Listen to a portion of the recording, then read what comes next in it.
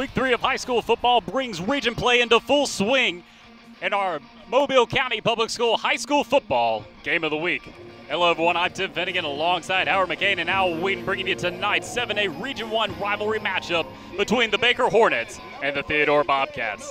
And I'll tell you what, Howard, we saw Theodore Bobcats in action last week, and primarily defensively, bringing the pain through Jordan Hunt, the leader, the safety for the Theodore Bobcats. Oh, yeah, what can you say about this kid? He's a ball hawk in that secondary. We watched him last week against Mary G. Montgomery. He was all over the field making plays. Almost a one man wrecking crew back there in that secondary. I tell you what, they're going to need a lot of the same type of play that they had last week against the Mary J. Montgomery Vikings, Howard. And offensively, Trevor Andrews, Romani Richardson, both bringing things to a whole nother level. I think the whole Mobile area found out about those two. But Jordan Hunt, a phenomenal athlete, not only on the field but off the field, student athlete. He's a complete package for Eric Collier's defense. Yeah, absolutely. He does everything in the secondary that a defensive coach will want his players to do, Tim. He's patient. You can see here, he just waits. When it comes to him, he makes a play. The kid has a nose for the football, and that's what you want out of your defensive secondary. Jordan Hunt, our spotlight player for Theodore. Well, they're going to need a lot from Jordan Hunt tonight in order to stop Baker's do-it-all player and Darius Bracy lining up at quarterback. He's the Swiss Army knife of Danny Smith's Baker Hornets as we are underway with the Hornets receiving at the 25 yard line, bringing it up the field. Has a couple of blockers. Melvin Hill trying to hit a block and gets Roan on the play and a couple of spins takes Baker out of bounds near the 40 yard line. Yeah, and that's excellent, excellent starting field position here as this game just gets underway. That was our opening kickoff. So right now, let, you know what, let's take a look at Baker's impact player for tonight, Tim. Oh, taking over on offense, Darius Bracy, the do-it-all back for Danny Smith's Baker Hornets. He's coming into his senior year. Last year we saw Bracy convert over from running back, taking over at quarterback midway through the season. This year in the full swing, had a full summer to concentrate on the position, got a lot better as a passer, but he's a do-it-all player, Howard. You can line him up anywhere on the field. Tim, what I love about this kid, he can throw it, he can run it, he can catch it, he can kick it, and he can return it. A utility player for the Baker Hornets. Well, Darius Bracy's going to lead the first offensive drive starting off at the 38-yard line. Trey McMillan to do it all back in the backfield. A lot of speed between Bracy and McMillan. Bracy's going to keep it himself around the left side, shrug off the defender, but be brought down by a pile of Bobcat defenders on the play for a loss. Yeah, that was a nice job that time of coming up and filling is the uh, impact player that we just spoke about in the pregame for Theodore. That's Jordan Hunt. Now, Jordan Hunt plays a lot of strong safety, Tim. And what that is, is between the strong safety and the free safety, your strong safety pretty much comes down and plays a lot of run support. That time, Jordan Hunt, great job of coming up and stopping Darius Bracy for a loss on the play, second and 11. Three receivers set. Bracy in the backfield with a fullback and running back in the backfield with him. That offensive line, talk about some size up front, just Big old Jonathan Burpo out there, 6'2", 250, a right tackle. Bracy rolling out that way over to the right, looking downfield, has a block from McMillan, and makes his way to the sideline. A gain of about five yards as we take a look at the Baker offense. A lot of weapons for Danny Smith on this offensive unit. Bracy McMillan, you know about Drayton Law committed to Troy. Big 6'4 receiver, 200 pounds. Melvin Hill, another tall offensive weapon up front on the starters. We talked about Burpo.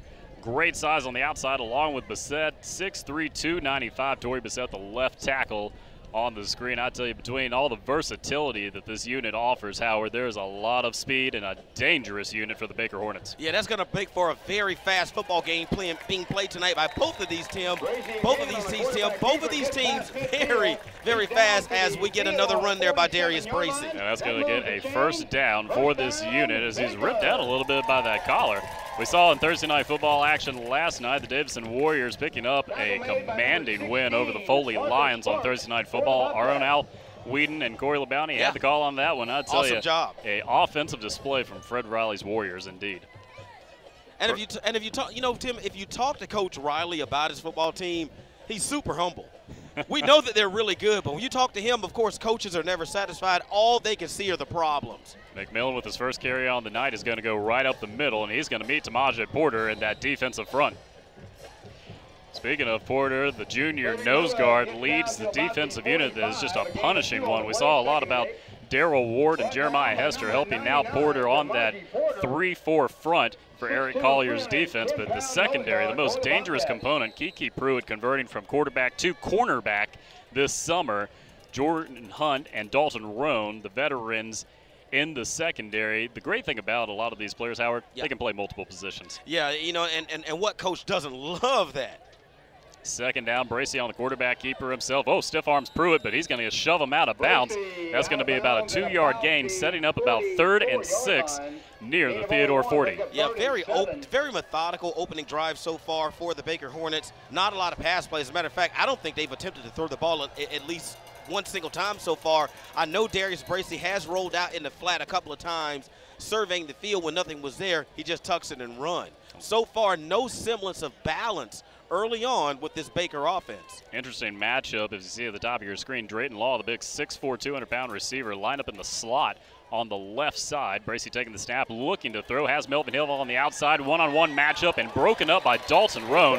A flag comes out on the play. Yeah, that's going to be pass interference on, on Dalton Roan uh, while he was trying to defend a big, I mean, just a big, big target out there in the flat. All alone on, on 101 is Melvin Hill. Timmy, 6'2", 180 pounds. But, of course, when the ball goes up in the air, that kid can probably get up close to seven feet high to go up and try to snag down a football. But we're going to get a call here from a referee. Pass interference, white team.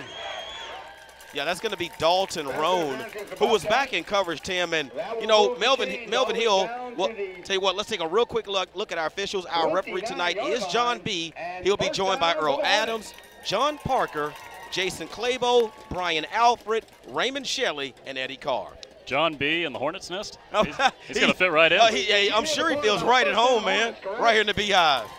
Fresh set of downs after that penalty. Bracy and McMillan in the backfield. Three receivers set, two to the left, one to the right. Hill at the bottom of the screen. They're shifting over. The H back to the left side. Going to be targeting that side where Law is commanding in the receiving target. Play action fake. Bracy looking across the middle. Intercepted by Jordan Hunt, bringing it out to the 30 and going to be tackled by Bracy.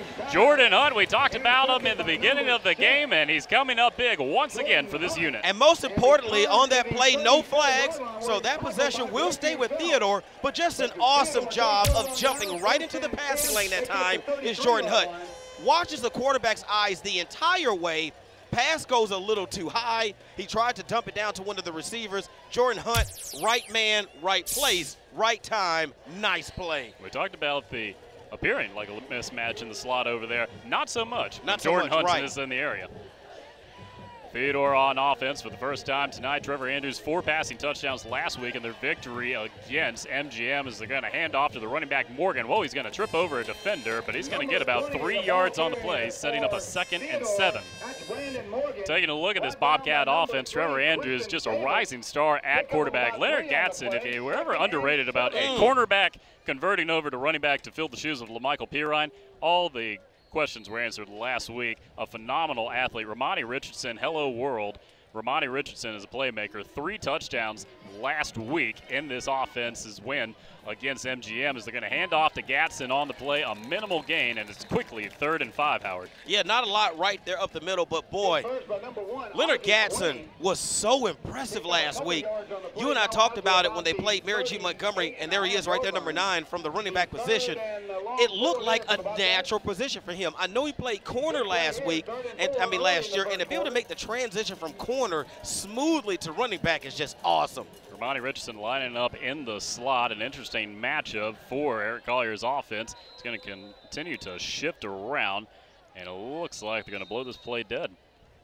I think we're going to get a timeout, Tim. Theodore is going to take a timeout. Taking a look over at the Baker Hornets defense, a very hostile unit, but with a lot of new faces, namely Quintrell Price at linebacker, number 53. He's a senior that transferred in from LeFlore last year, played safety for the Rattlers, comes over to Baker, becomes eligible at the beginning of August, and now he's going to convert over to linebacker. And Howard, when you stand next to this kid, he is a man. And you told me something really interesting in the pregame.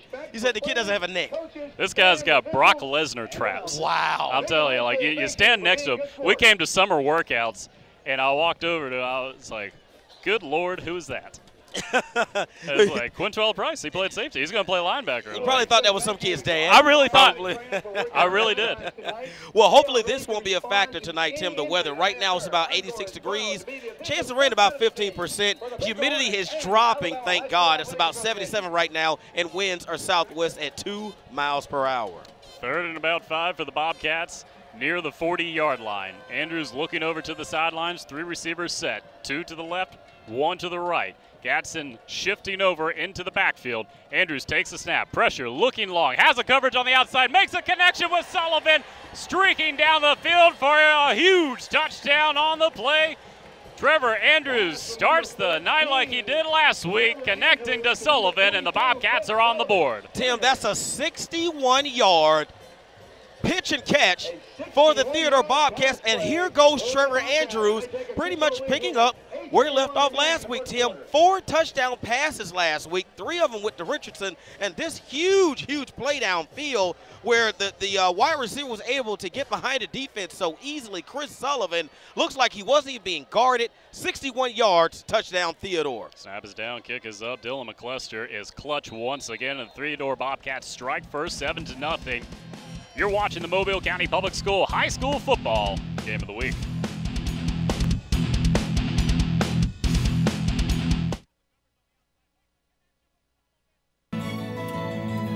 I received a great education with the Mobile County Public School System.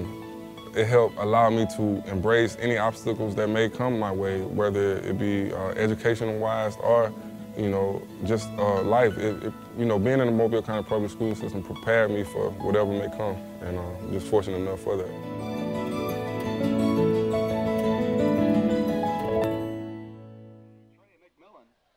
Welcome back to the Mobile County Public School High School Football Game of the Week. Tim Finnegan, Howard McCain, Al Whedon bringing you tonight's 7A Region 1 rivalry matchup between the Theodore Bobcats and the Baker Hornets. The Bobcats quickly on the board, Howard, as we take a look right here. Trevor Andrews, deja vu from last week, connecting with Chris Sullivan for a long touchdown on third and five and the Bobcats strike quickly. Yeah, pretty much left the corner that was in coverage back there flat-footed.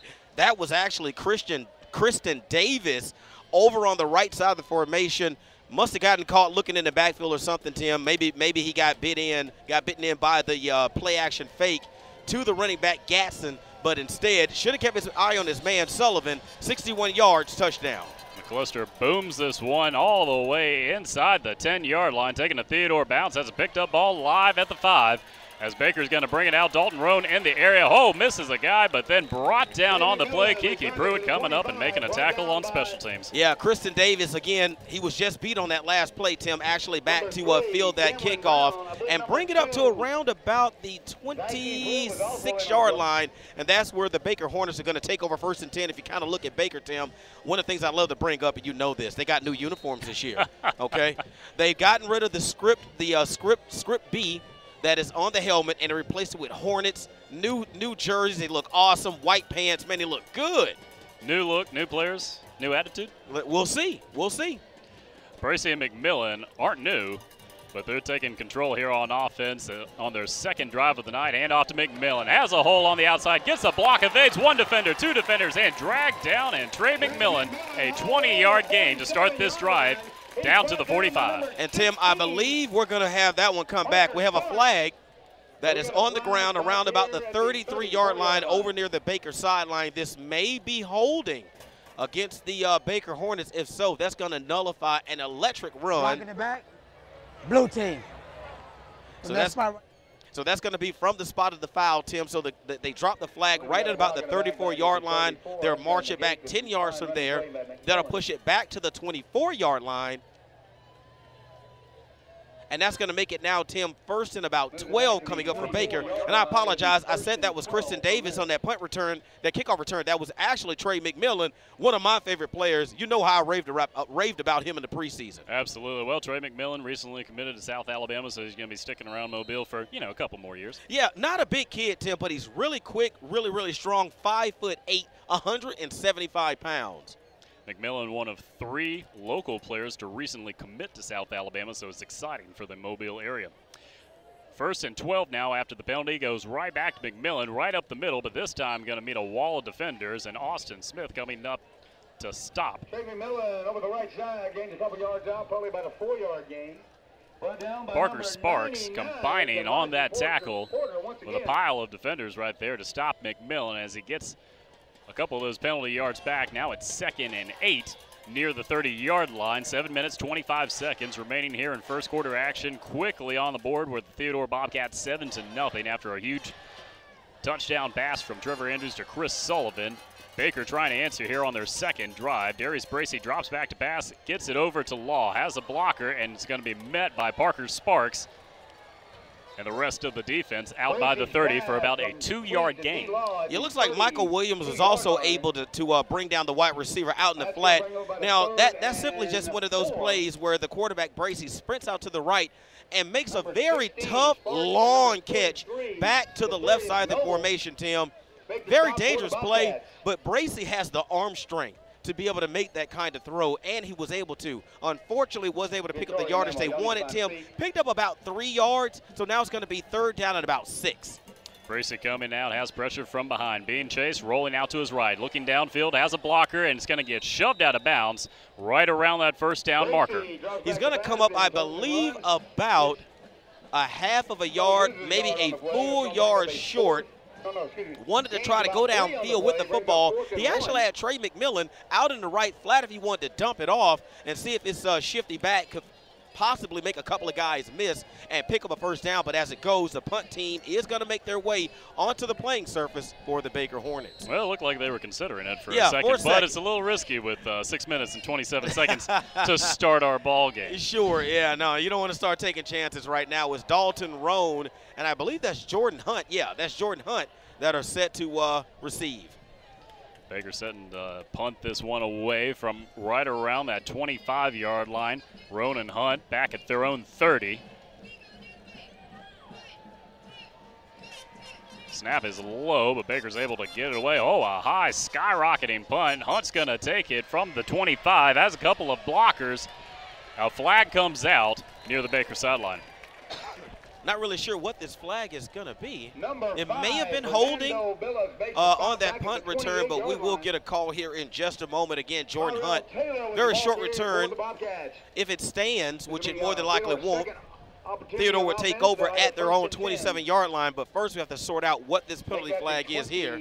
And we should get this uh, call here in just a moment from our officiating crew. But if you're Baker Hornets, if you're the Baker Hornets, Tim, and they're about to go back on offense, I mean, back on defense, Theodore came out and moved the ball downfield with relative ease. You've got to start, you've got to stop something, Tim. You've got to pick your poison. Are you going to stop the pass game or the run game? White team. Okay, so the call is a block in the back Block in the back against the against Bobcats. Theodore. That's going to move them back to the So that's a spot foul, Tim. Yeah, so that pushed the ball all the way down inside the uh, red zone, back to the 14-yard line. Horrible starting field position for the Theodore Bobcats. Well, it's never been an issue for them on the uh, distance I know, right? Exactly. They like a challenge. They like to air it out just a little bit.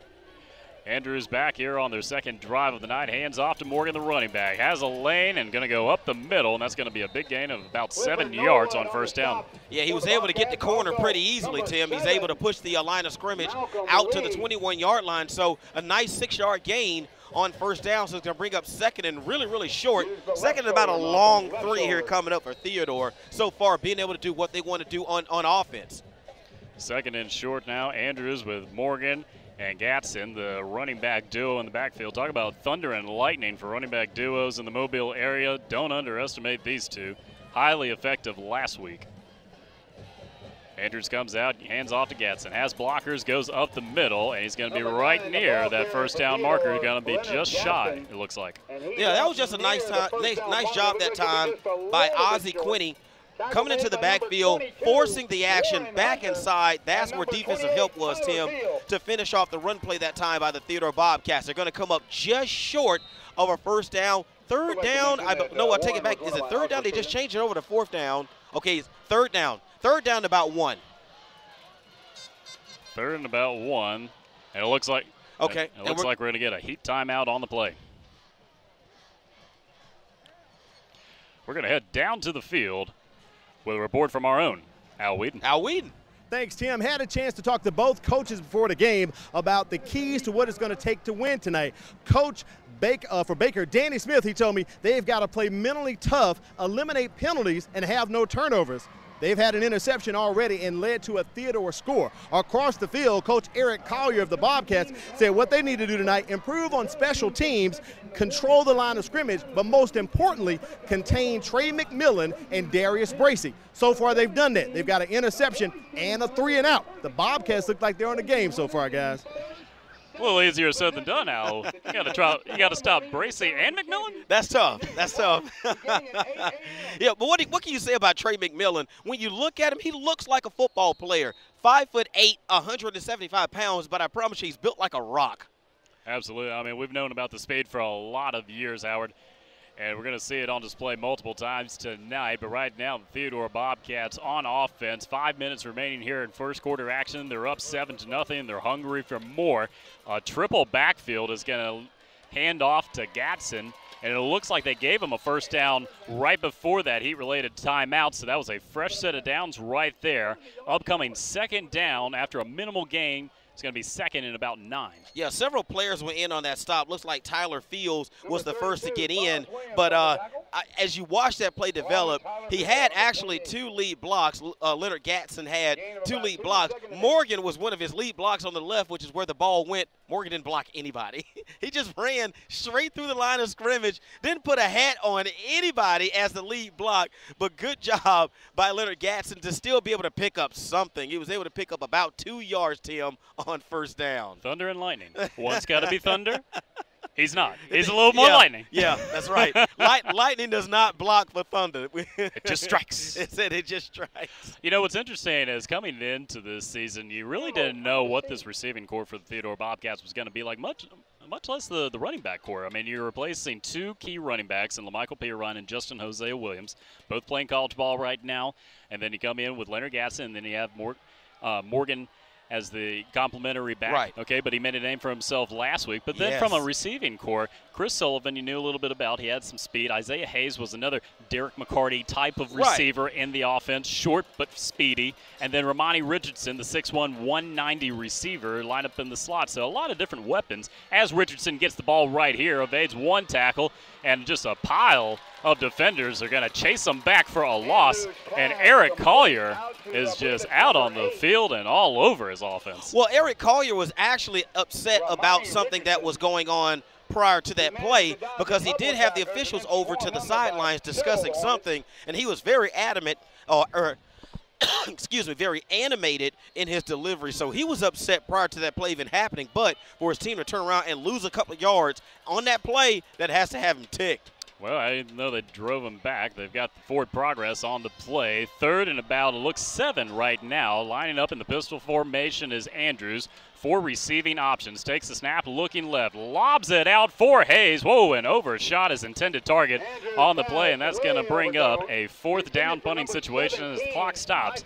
Three minutes, 20 seconds remaining here in first quarter action. Yeah, that was Christian. That was once again Kristen Davis on coverage, but Anthony Quinney was was actually laying back deep in the secondary that time. Tim, Tim, Tim. So there was actually coverage underneath, and there was help over the top. So Trevor Andrews would have had to try to fit that thing into the eye of a needle in order to get it to Hayes. Uh, fortunately, it just fell incomplete. High snap, low punt from McCluster. It's going to be scooped up by McMillan. He's got speed for days.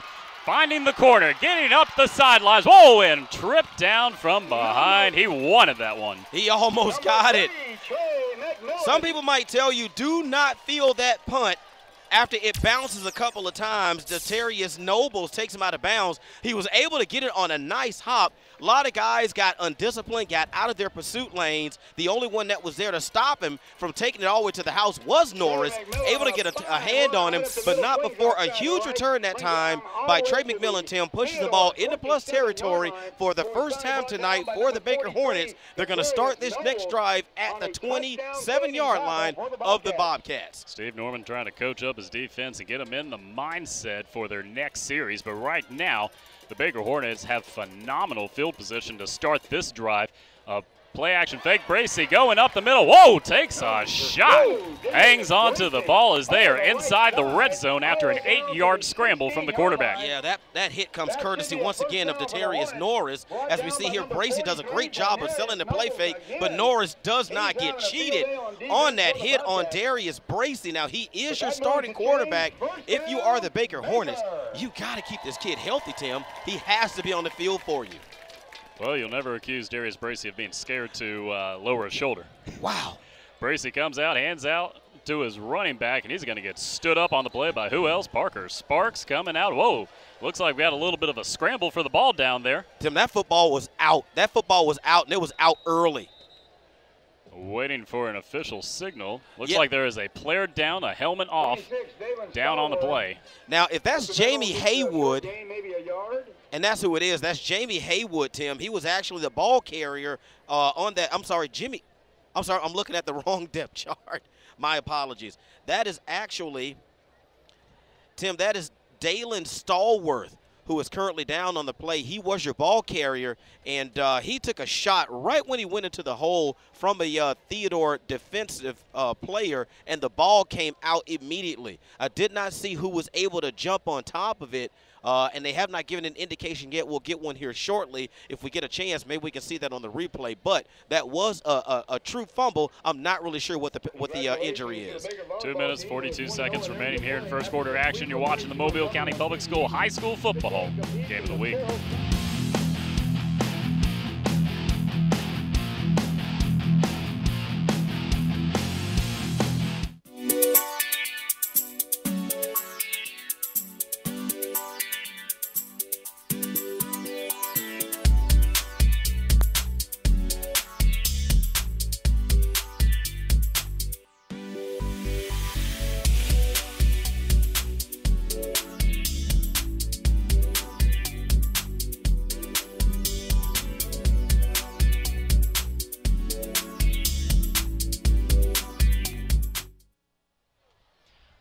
Mobile County Public School High School Football Game of the Week. Tim Finnegan, Howard McCain, Al Whedon bringing tonight's 7A Region 1 rivalry matchup live here from Baker High School between the Baker Hornets and the Theodore Bobcats. Two minutes, 30 seconds remaining here in first quarter action. The Baker Hornets in the red zone. Delayed handoff. No, Bracy's going to keep it himself and go down on second down from Tamaje Porter and company.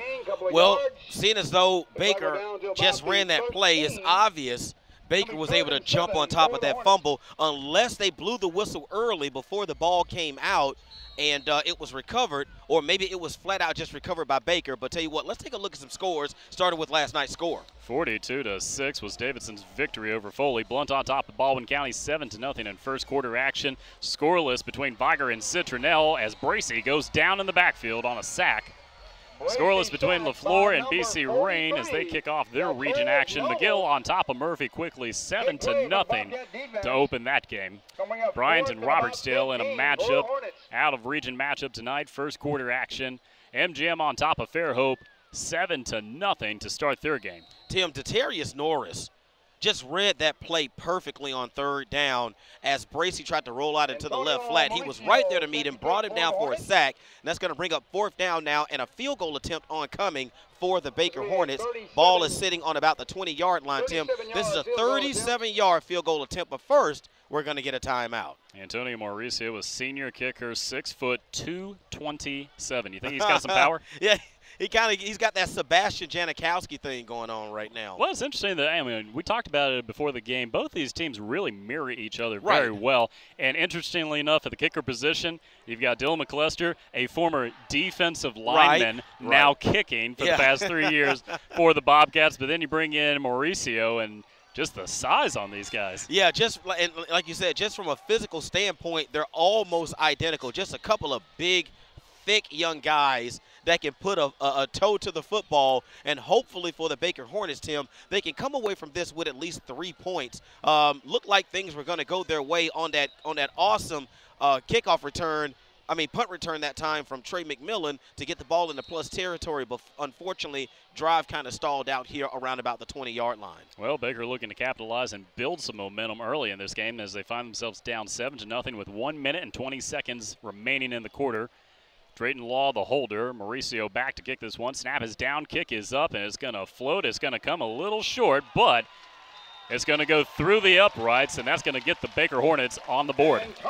37 yard field goal. So that changes our score now, Tim, to 7 to 3. Theodore still leading here at Baker High School.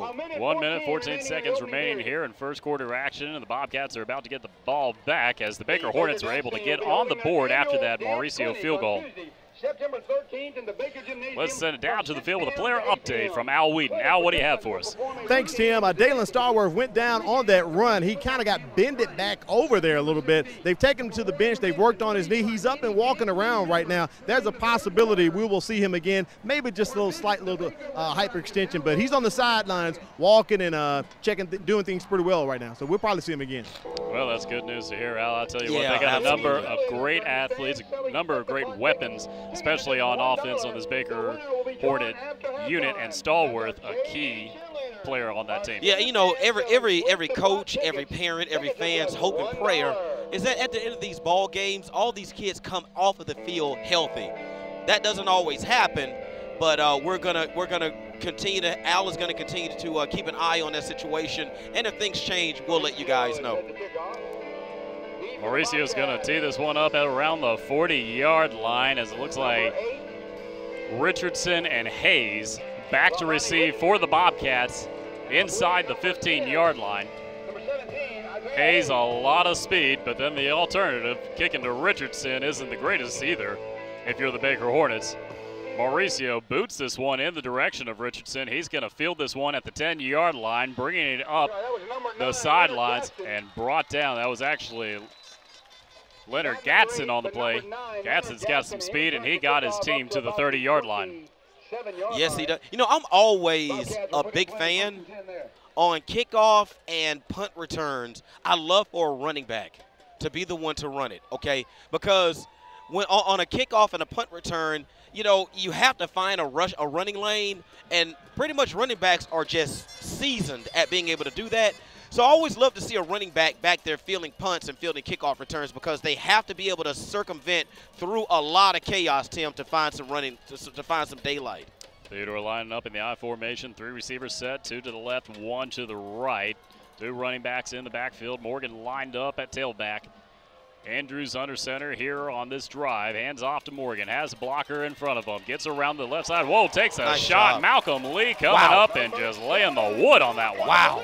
Nice job, Malcolm Lee, coming up from that cornerback position, not being fooled by anything. Just was able to get into the backfield before Leonard Gatson could get a hand on him on the block and brought down Morgan. Morgan was able to pick up a couple of yards, Tim, on that play. Looks like he picked up maybe three. So it's going to be second down, a long, a long seven here for, the, uh, for the uh, Bobcats. Andrews back in the backfield now. Gatson to his right. Hands off. No. Play action fake from Morgan. Rolls around. He has pressure. Can make a connection to Gatson and brought down immediately on the play after a gain of about three yards. Hunter Roberts is your uh, tackler that time for the Baker Hornets. Still able to pick up positive yards. Pressure right in the face of Trevor Andrews. Wasn't able to quite get out of the play what he wanted as we tick down to the last final seconds here, Tim, of first quarter action. Third and five for the Bobcats. And the clock is going to run out, and that's going to take us into second quarter action. The Theodore Bobcats leading the Baker Hornets 7 to 3. You're watching the Mobile County Public School High School Football Game of the Week.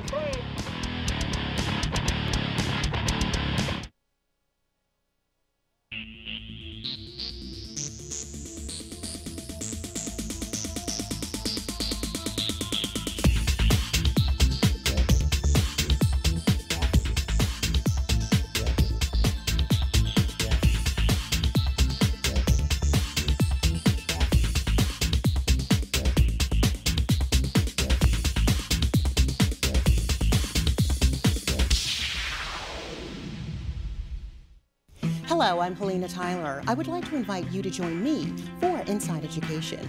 Come with us as we take a look at what's happening around Mobile County Public Schools as well as what's happening in your child's classroom. That's Inside Education right here on the MCPSS TV network.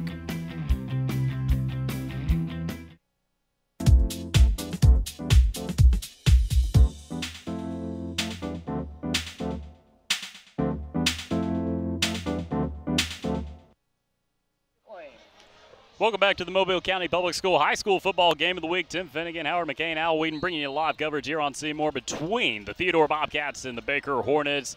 Theodore Bobcats leading 7 to 3, and it's quickly second quarter action. Andrews tosses out to Morgan on the play. Whoa, brought down in the backfield by a fleet of Hornets. Well, and it and was led by a lead Hornet that time, and I believe it was Tim, I believe that was Quintrell Price. Now, we've already talked about Quintrell Price. You know, he's a transfer from LeFlore High School, came over to Baker High School, plays linebacker, which is probably more of a natural position on defense for him.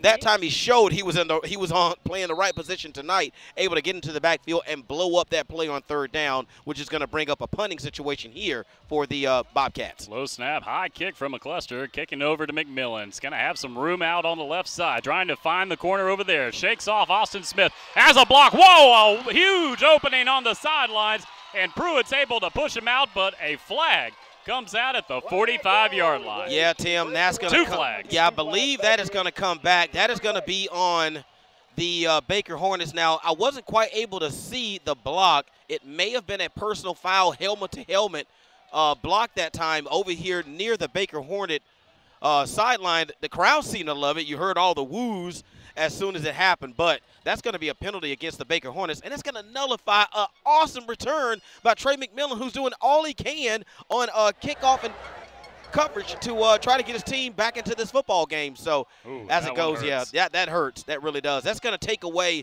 somewhere close to 20 yards, maybe 25 yards of field position as we look at Trey McMillan here, able to get around the corner of Austin Smith. Blocking the back. And there was a block in the back. You couldn't quite. First down. You couldn't quite see the block in the back right there in that shot. But that block in the back was actually levied against Tyrone Hall. So that's going to bring the ball back into minus territory for the Baker Hornets, which puts the ball on their own 43-yard line as we start the second quarter. And really, a lot of those plays are really unnecessary. I mean, McMillan was already he was already he was already past. The it. Yeah, exactly. First set of downs, nonetheless, after that penalty, is going to find Baker on their side of the 50.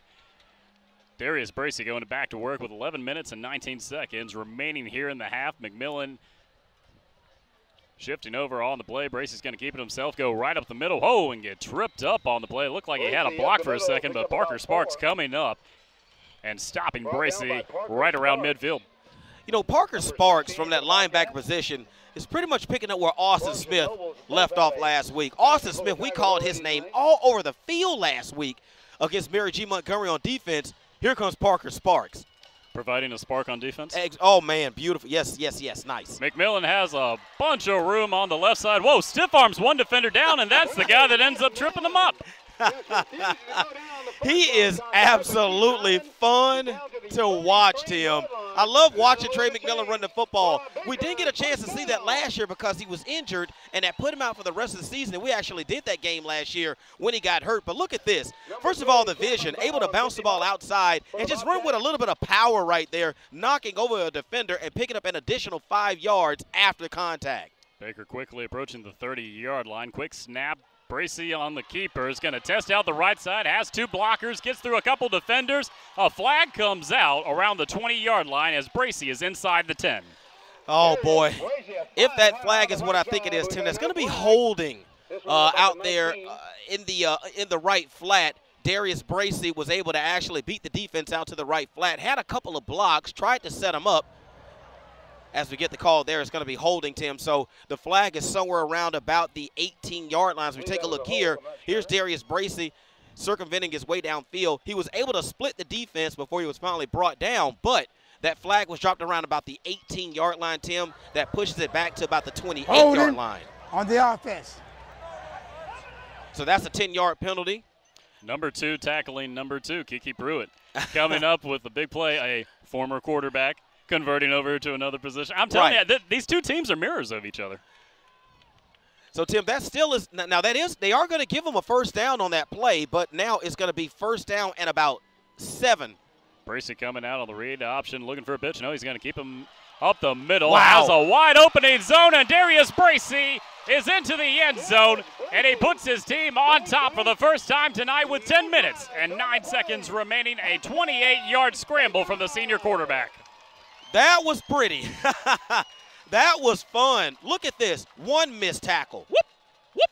two missed tackles, three missed tackles. And after that, it's just turn on the afterburners into the end zone. Darius Bracy, we told you, he can kick it, he can run it, he can catch it, he can field it, he can return it. Mauricio on for the point after. Snap is down, kick is up. Whoa. Little short, but nonetheless on the board, and the Baker Hornets are on top 10 to 7 after a 28 yard scramble from senior quarterback Darius Bracy. With 10 minutes remaining here in the first half, and the Baker Hornets sidelines have come alive. And Tim, speaking of sidelines, you know, you can also cast your eyes up into the stands. This place is packed. There isn't a, a, an empty seat in the house on either side of the field. Great job by the community here, and great job by the Theodore community to come out and support these these these kids. They're playing hard. This is an awesome football game so far. 10 to 7 here, Baker over Theodore. When the suits show up, the players show out. That and the fans show up as well. This has been awesome. This is a really pretty scene out here. Well, we talked about how big of uh, a matchup this was going to be in 7A Region 1. You know, the region play really in full swing now here Right. in Week 3 because Week 1's kind of used for that preseason tune-up Sure. type of game. Week 2, you're thinking about getting into region play, but then you might play an opponent outside the region to kind of test to see what you have. Right. Now into Week 3, now it's time to, to get that extra emphasis on games. I mean, it's 7A football in Mobile, Alabama. I mean, it's the SEC West of high school football, but at the same time, this is where you're really going to learn what kind of team you are. Well, Tim, I know it's so far down the line, but once you get into region play, let's be honest, that's when you start to make your playoff push because it's got it comes down to what that region record is, whether you make it into the playoffs. So this is actually the almost like the first week of the playoffs. These kids have got to win these region games in order for them to put themselves in a position to be considered for playoff uh, for the playoff tournament. That young man, Darius Bracey, just put his team in position on top, 10 to 7 now here in second quarter action. 10 minutes remaining here in our half as Gatson gets his Bobcats down to around the 26 yard line to start their next drive. both teams so far, as far as starting field position uh, on each of their drives, they've both been starting somewhere between the 20 and 30 yard line, except for one earlier uh, drive where Theodore got penalized and they start their drive at their own 14 yard line. But outside of that, excellent starting field position for each one of these teams, which means the playbook is wide open for both of these guys. First and 10 now from the 26. Trevor Andrews going back to work. Gatson, the running back in the backfield. Sullivan, the receiver. Speedy receiver at the bottom of your screen. Play action fake. Andrews looking over for Ramani Richardson. A flag is out at the 30 yard line on the Baker sideline. Yeah, it's on the Baker sideline. It's also on the other side of the line of scrimmage. So, huh, did someone release upfield? Is maybe that's the call?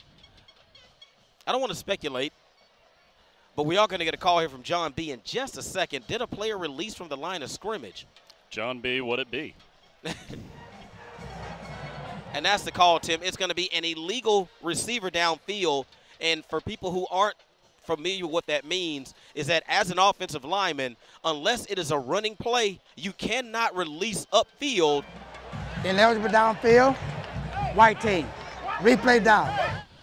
Um, uh, I I know in I know in the pro ranks you can't go more than a yard, but you know people play with that all the time. Oh, absolutely. You know, that's that that's been like one of those calls that's like been the source of contention here, especially in the college ranks lately with some of these linemen releasing downfield. But a lineman cannot, unless he reports, cannot release from that line of scrimmage. If he does, he turns into a receiver, and that's a penalty. Well, it's going to be an incomplete play no matter what. Right. But now we find there's now Theodore finds itself first and 15, backed up near the 20-yard line. So it's almost like a free play. You just got to back up a little bit.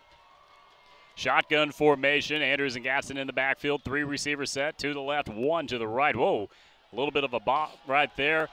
As Sullivan, whoa, Whoa. comes up with a huge athletic play, caught it from behind his defender, and the coaches are trying to argue that he caught it out of bounds. Sullivan, what a play! It looked like double coverage over there, but where you watch it right here, Chris Sullivan Andrews just putting it on the money. Sullivan catches it right behind, gets Oh, one foot yeah. down, two feet down, and he gets out of bounds right there. A phenomenal play and a false start. Oh wow, are you serious? Is I didn't even nullify a huge play.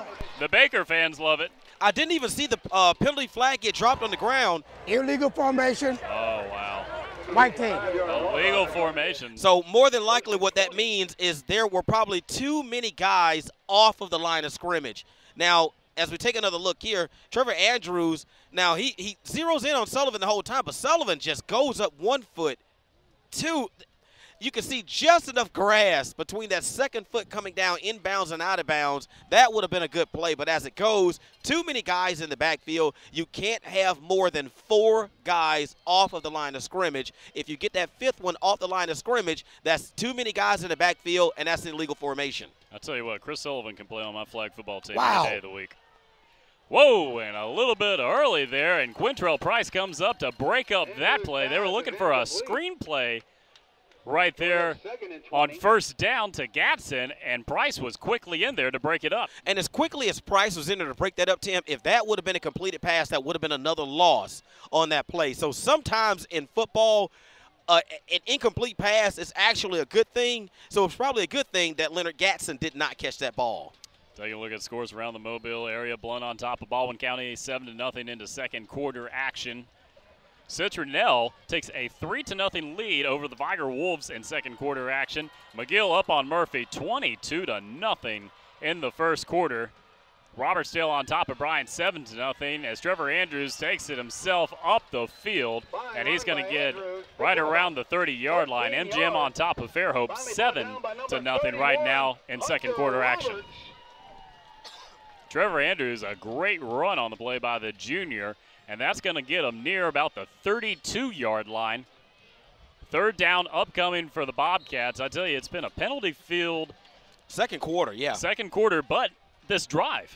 Yeah, and if it wasn't for Trevor Andrews, who actually is going to make third down so much more manageable, it's going to be third down at about six here for the Bobcats. Gatson in motion. Morgan, the running back in the backfield, is going to get it off of the pitch. Going to test the left side, get up the field for a first down, and then some. Whoa, takes a shot out of bounds, but he gets his team out of danger and near the 45 yard line. Yeah, that's going to be enough for a first down. That was Arius Lawson who came up and leveled Morgan right at the sidelines. That was legal. So uh, that's going to be first down. We've seen a lot of big hits so far tonight Yeah. by both of these defenses. So that's going to move the yardsticks, Tim. So that's going to be a first down for the Theodore Bobcats. 8.58 left here in the second quarter. Ball is right on the 40 yard line of Theodore. Theodore lines up in the I formation. Andrews under center. Two receivers to his right, one to the left. Fresh set of downs. Play action fake. Andrews looking long, looking over to the right side. Has Sullivan by himself, makes a connection inside the 20 and brought down at the 10 yard line. Chris Sullivan, another huge play for the receiver. Tim, that's a 50 yard pass from Trevor to Sullivan. Now remember, they already connected on a 61 yard touchdown reception. This one goes for 50 yards for Sullivan. And Sullivan is getting behind the defense easily, Tim. There's three defenders in the area right there, led by Malcolm Lee, the senior safety. And if it wasn't from Anthony Quinney, that was going to be another long touchdown, about a 60 yard touchdown pass from Trevor. From Trevor Andrews to Sullivan, but it Well, it looks like the Baker Hornets Yeah. are going to take a timeout and talk this one over. Theodore quickly into the red zone. They find themselves down 10 to 7 to Baker with less than nine minutes remaining here in second quarter action, trying to get back on the board. Another huge play from Chris Sullivan, and it almost seems Howard like whose turn is it going to be in the receiving corps for the Bobcats to step up? Week one, Isaiah Hayes makes a name for himself, so defenses pay a little attention to him. Last week it was Ramani Richardson. Baker's paying attention to him tonight. Chris Sullivan opens up. Last week he got a little injured Yeah. after he scored a touchdown, came back into the game, fully healthy now tonight. He's shining. Well, if you're if you're Coach Smith, you want to try to roll some help over to his corner that's covering Sullivan. Right now, Sullivan is having his way. He can do whatever he wants to do in the defensive secondary. He's putting up very little resistance. He needs to roll double coverage over the top of Sullivan and force Trevor Andrews to look at somebody else. If somebody else beats you, that's okay. But we're going to make sure that Chris Sullivan doesn't continue to catch these long passes. So far, just two catches uh, on the night, Tim. One for 61, one for 50. Andrews fresh downs inside the red zone, out of the pistol formation. Two targets to the right, and it looks like there was a jump on that defensive line. Yeah, it looks like one of the defensive linemen jumped into the uh, neutral zone. That was Mark Sparks. That was yeah, that was Mark Starks. Encroachment, blue team. Yeah, the five foot nine, 260 pound senior nose tackle jumped into the uh, neutral zone. So in high school, he doesn't have an opportunity to jump back. Once he violates the neutral zone, that's a five yard penalty. Ball at the five yard line now with Baker. Well, you certainly want to get aggressive here in the red zone, especially now on first and five. It looks like the referee's going to talk this one over. Switching things up. It's going to be a timeout from Baker once again. Steve Norman wants to talk to his defense to get things going. Danny Smith, naturally a defensive coordinator for a lot of years. And I tell you what, Howard, when you take a look at what's been happening thus far in this ball game, Chris Sullivan, a dangerous weapon for Theodore Darius Bracey. We talked about him in the beginning of the game how much of an impact he was going to be making at the quarterback mm. position, and both players living up to the hype. Jordan Hunt coming away with an interception. It's been a back and forth battle. It's exciting to see. So far, it's been fun. Ten to seven is our score right now. We're we're still in the second quarter. Theodore is knocking on the door. If they mess around here and get this thing into the end zone, I mean, we're, we're back at it again very exciting on the field right now. Wish you could be here, but if you can't, continue to watch this ball game because this thing is going to come down to the wire, Tim. Two high-powered football teams, a lot of speed, a lot of quickness, a lot of fun. I tell you, you know, and it's exciting when you take a look at both of these teams. We've talked about it all throughout the night that they're really mirror images of each other because Trevor Andrews, Darius Bracey, just phenomenal athletes at the quarterback position. You've seen them be able to run. Can, they can throw on the run or sit back into the pocket or scramble away. I mean, so many weapons for both of these offenses tonight. Yeah, and they're utilizing all of them. So it's don't right now. We got single coverage on the outside on Chris Sullivan. Will Trevor Andrews try to throw up a, uh, a pass or just simply hand it off to Gatson? First and five right here. He's looking to pass. Whoa, and it's going to drop right near the feet of Isaiah Hayes. He was looking for his intended target on the play, but I tell you what, Howard, this is a little bit of a uh, Super Bowl uh, flashback of Seahawks yeah. Patriots. And that's what I was, and I think they were trying to run the exact same play with Hayes releasing underneath into the end zone. It was a timing pattern. Trevor Andrews is supposed to throw it to a spot, not to a receiver. Tre- uh, Hayes got knocked down at the line of scrimmage. Ball fell incomplete. Second down and goal. Is Darius Butler out there? West Alabama. Gatson in motion over to the left side. Andrews in the backfield. Tosses out to Morgan. Has blockers on the left trying to get up the middle of the field and dropped by Quintrell Price coming up and just laying a hit the senior linebacker. Yeah, and Clifton Norwood was also there to help. That was just really good defense. Stretch play was being run that time by the Theodore Bobcats. I'm kind of surprised that they just didn't try to run between the tackles. You're right there at the goal line. Tough, tough job trying to run a stretch play against a very speedy defense. Third and five now. Look at the opening on the outside. Oh, Baker jumps all over it. Chris Sullivan, no one was on him at the at the bottom of the screen. Oh my gosh! If you if if you're Trevor Andrews, when you take a look out there and see that, you just go up under the center, yell fire, fire. Sullivan and, was waving at him, and you just snap that thing, you toss it up, and that's an easy seven points. But good job by the staff for the Baker Hornets to call a timeout and possibly save a touchdown. Well, that's three timeouts on this drive for the Baker Hornets. With eight minutes, 12 seconds remaining here in second quarter action, they're defending a 10 to 7 lead. Tim, look at that. Isn't that cute? That's a future Baker Hornet fan. She's already a Baker Hornet fan. She was decked out in all, she her, just doesn't know it all yet. her Baker Hornet gear. I'm pretty sure that's mom probably filming the game right here on the uh, in the stands here at Baker High School. And again, just an awesome scene out here. Just both stands are packed. The visitor side, the uh, the home side. It, but the only thing that bothers me, Baker is winning and you can't tell. Nobody's excited about it. There's not a lot of noise going on on this side of the field, man. These guys should be up and going nuts right now. Well, there's anticipation upcoming here on third and five.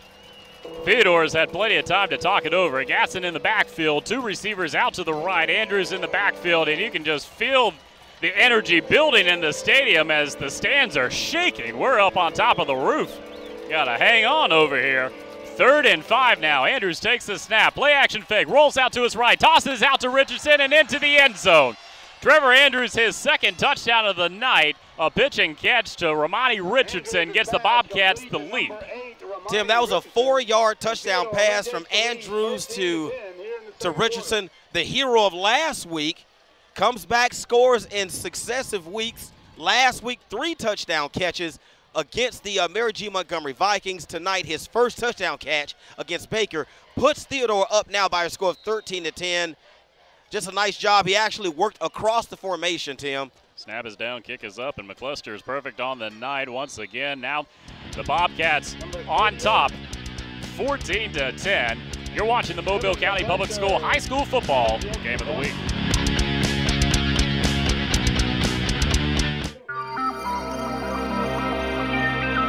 It's no surprise that the University of South Alabama's College of Education can prepare you for an exciting career in public education.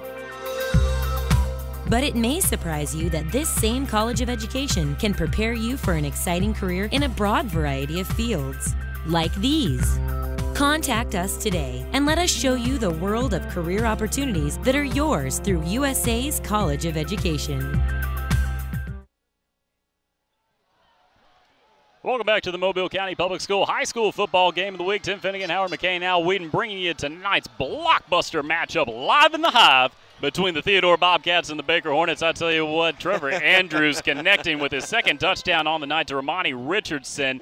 Eight minutes remaining here in second quarter action. The Bobcats are back on top, 14 to 10. Howard Yeah, McCain. that, was, that was pretty good. Live in the hive. I like that. Live in the Hive. I like that. You know, I, try to get creative every That's now and then. pretty good. Live in the hive. Hey, You know, I'm still waiting for the Baker buzzing backfield to catch on. I told. Danny Smith if, if a T-shirt comes too. out, I just I just want 10 cents of every shirt. 10 cents. You know? Short kickoff, Tim.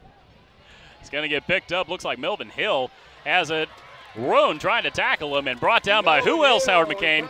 Parker Sparks. I tell you, he's he's adding a spark everywhere he's go. I'm Defense, telling- special teams. Last week it was Austin Smith. I'm telling you, I don't know if they just they, they, they just gave each other a hand clap and say, "Look, man, this this is your week."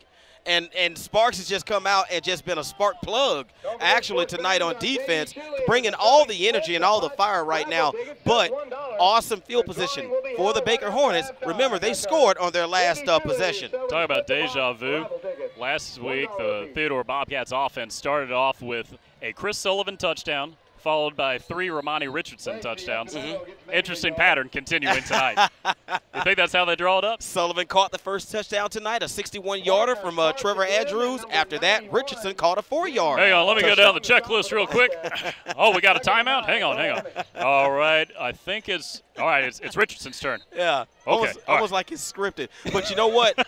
I know right now probably half of Mobile is out at Lad People Stadium watching the McGill Murphy matchup. But But they're I- watching us on their phone right now, But, Howard. yeah. It's 22 to nothing. This is the better matchup tonight as Darius Bracy is your ball carrier, but Tim, that's going to come back. Late flag comes out in the backfield. well, they knew way ahead of time that we were going to go to the real game of the week, you know. so we just wanted to, you know, we knew that this was going to be a great 7A Region One rivalry matchup. Not that Murphy McGill isn't a great one. Yeah. But 22 to nothing says it all right now. Tim, the call is going to be holding against the Baker Hornets, so a spot foul. That's going to move the ball back. I think I actually saw on Twitter earlier that uh, Murphy has to play the third string quarterback, so that could be a major factor in tonight. Wow.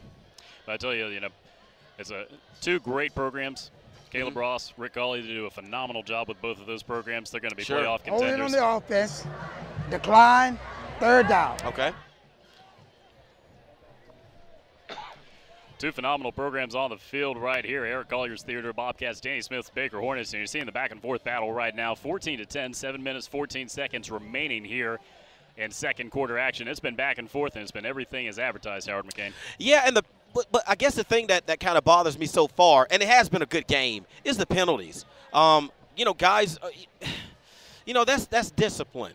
Okay, and the coaches are going to talk to them not only at halftime, but when they get ready to come back next week to start practice, they're really going to talk about it big time when it comes to those uh, comes to those uh, those penalties. Don't be surprised if for each one of these penalties, these guys may have to run some wind sprints across the field back and forth until they get it into their heads. Stop holding, stop jumping off sides, stop giving these the making these costly penalties and giving us and, and taking away valuable valuable field position. Seven minutes, 14 seconds remaining here in second quarter action. Theodore defending a 14 to 10 lead as Baker is looking at a third and about six at the 50 yard line.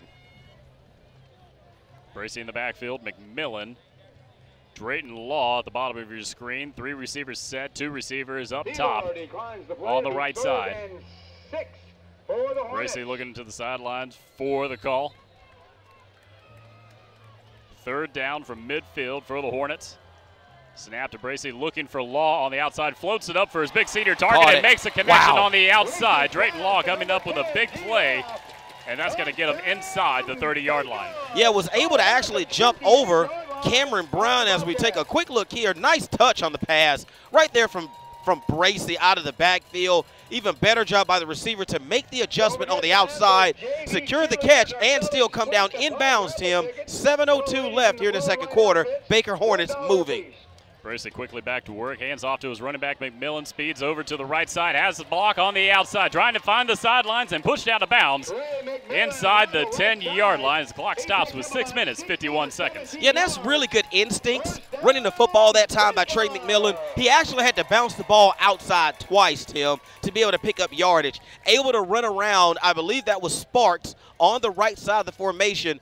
Got out to the outside in the flat, set up a nice block by his wide receiver by bouncing outside one more time to pick up more yardage, Tim. They're now deep in Theodore's red zone. Ball at, I believe, the 13 yard line of the Bobcats. It's been a back and forth battle all night, and Baker has positioned themselves in the red zone to strike again. Bracey keeping it himself on the quarterback keeper up to about the six yard line, and Darius Bracey going back to work. He got his Hornets on the board with a 28 yard rushing touchdown on their last drive, trying to make deja vu happen once again. And all the Hornets are doing, they're just spreading the defense out, Tim. They're coming out in about three wide receiver sets, two wide receivers to one side, one out in the other flat. Spread the defense out. That that gives rushing lanes to not only Bracey, but to Trey McMillan uh, so far on this drive. They could actually get another first down on this drive as McMillan is going to scoot away on the left side and into the end zone. Trey McMillan on the board, a six yard scramble for the Baker Hornets, gets them the lead back. Wow. He back was and forth, back and forth. Trey McMillan, the senior running back, finding the opening on the left side as we take a look right here, Howard. He's been so patient with the football tonight, Tim. And that time, there was nothing in between the tackles. Just smoothly bounced it outside to the left and just sashayed into the end zone. Easy. Six yards. Smooth. Mauricio on for the point after here. Six minutes, 11 seconds. Snap it down, kick is up. Oh, and blocked on the play, picked up. Austin Smith seemed to be the only one that was interested in picking up and running with it, but a blocked point after on the play. Baker leading. Theodore now 16 14. You're watching the Mobile County Public School High School Football Game of the Week.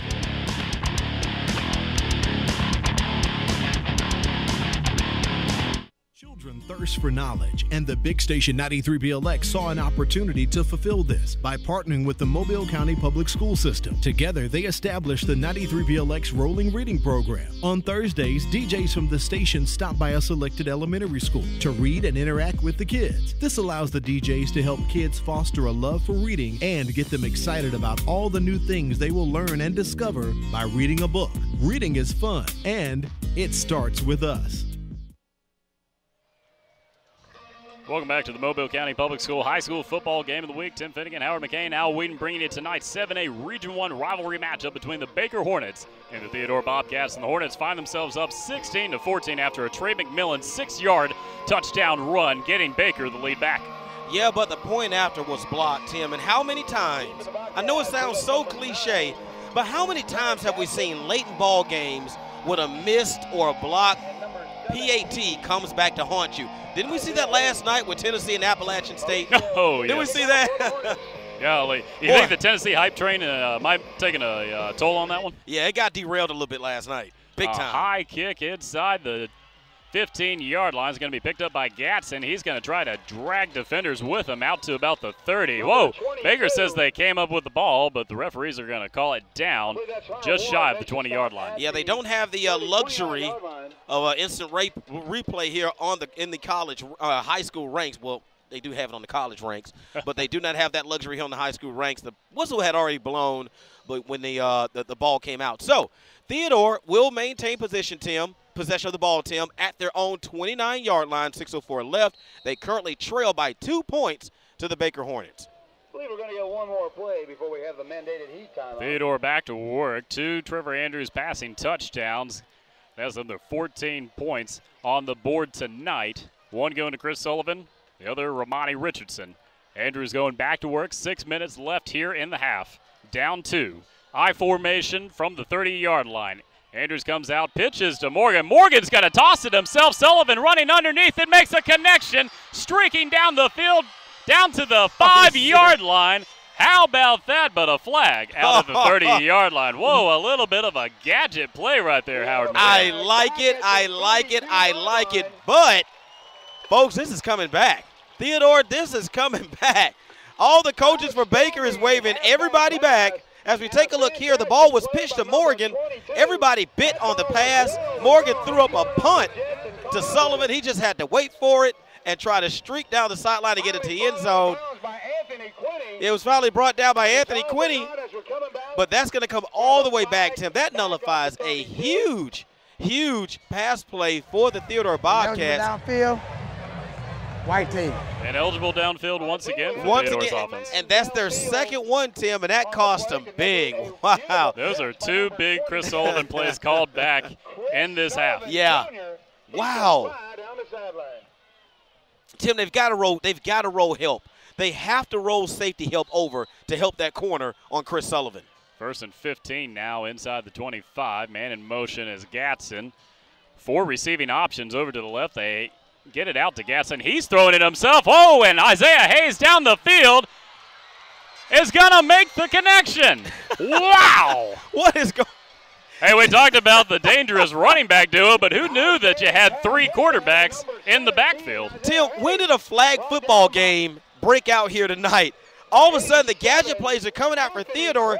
Trevor Andrews out into the flat to Gatson, and Gatson looks like he's a quarterback. Little wobbly on the pass, but Hayes waits for it long enough for it to come down and still hold on to the catch while he's being, wow, while he is being uh, tackled, Tim. And I believe we still haven't had our heat-related timeout yet. So that's what the official's going to take right here. This is the state-mandated heat-related heat timeout. 5:33 left here in the second quarter. Tyrell Taylor was the defender in the area, and he kind of saw that yeah, Isaiah Hayes was looking for the ball, oh, waiting for Taylor right, Right. there, and it, and it was all converging all together as we head down to the field now with Al Whedon. Thank you, Tim. Had a chance to, coach, to talk to Coach Collier of Theodore before the game, and I asked him about the Bakers' uh, first two games, their schedule. He said they're not taking for granted that they opened up with a 6A and a 5A team in Saraland and Vigor. Those are quality teams. Those are playoff teams, as a matter of fact. So he said he knows Coach Danny Smith is going to have his Hornets ready to play tonight. And as you can see at the score 16 14, it's back and forth. Speaking of homework and scouting, I took a look up in the stands. Guess who I saw? Coach Fred Riley and the coaching staff from Davidson Warriors. Who are their next two opponents? Baker and Theodore. That's some good scouting right there, Al. yes. Look at it. Davidson, they're just already back to work. It's a Friday night. They played last night. They're ready to go. I'll tell you what. They're going to have some phenomenal matches. We actually have the Davidson Theodore game in about two more weeks. Yeah, that should- that's that's going to be a show. Man, that's gonna be a good one, If you caught any of the action from Al Whedon and Corey LeBounty on Thursday Night Football last night, Davidson's huge win over the Foley Lions. Golly, what a big offensive display from Fred Riley's Warriors. And you can't wait to get another look at Dante Edwards from that running back position. That kid is a bruiser. Play action fake. Andrews pressure in his face, being chased by Price. Just lobs it up there. Oh, and it's going to get intercepted. Intercepted on the play at the 20 yard line. Price was applying the pressure on the play, and it looks like that Tyler Fields going to just come up with a gift. Andrews just lobbed it up there as we take a look right here. He had pressure. He was trying to make something out of nothing, but Price holding on to him. Andrews just lobs it up, and Fields takes advantage.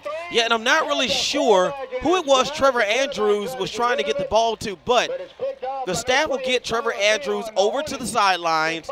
They'll coach him up. They won't fuss at him. They'll coach him up and let him know, listen, in that situation, just take it and eat it, okay?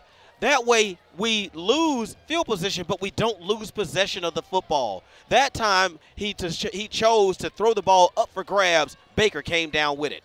Baker back to work with the two-point lead. Bracy testing out the right side. Ooh, has to go low with the defender in his face, but nonetheless picks up a big gain on first down, about seven yards.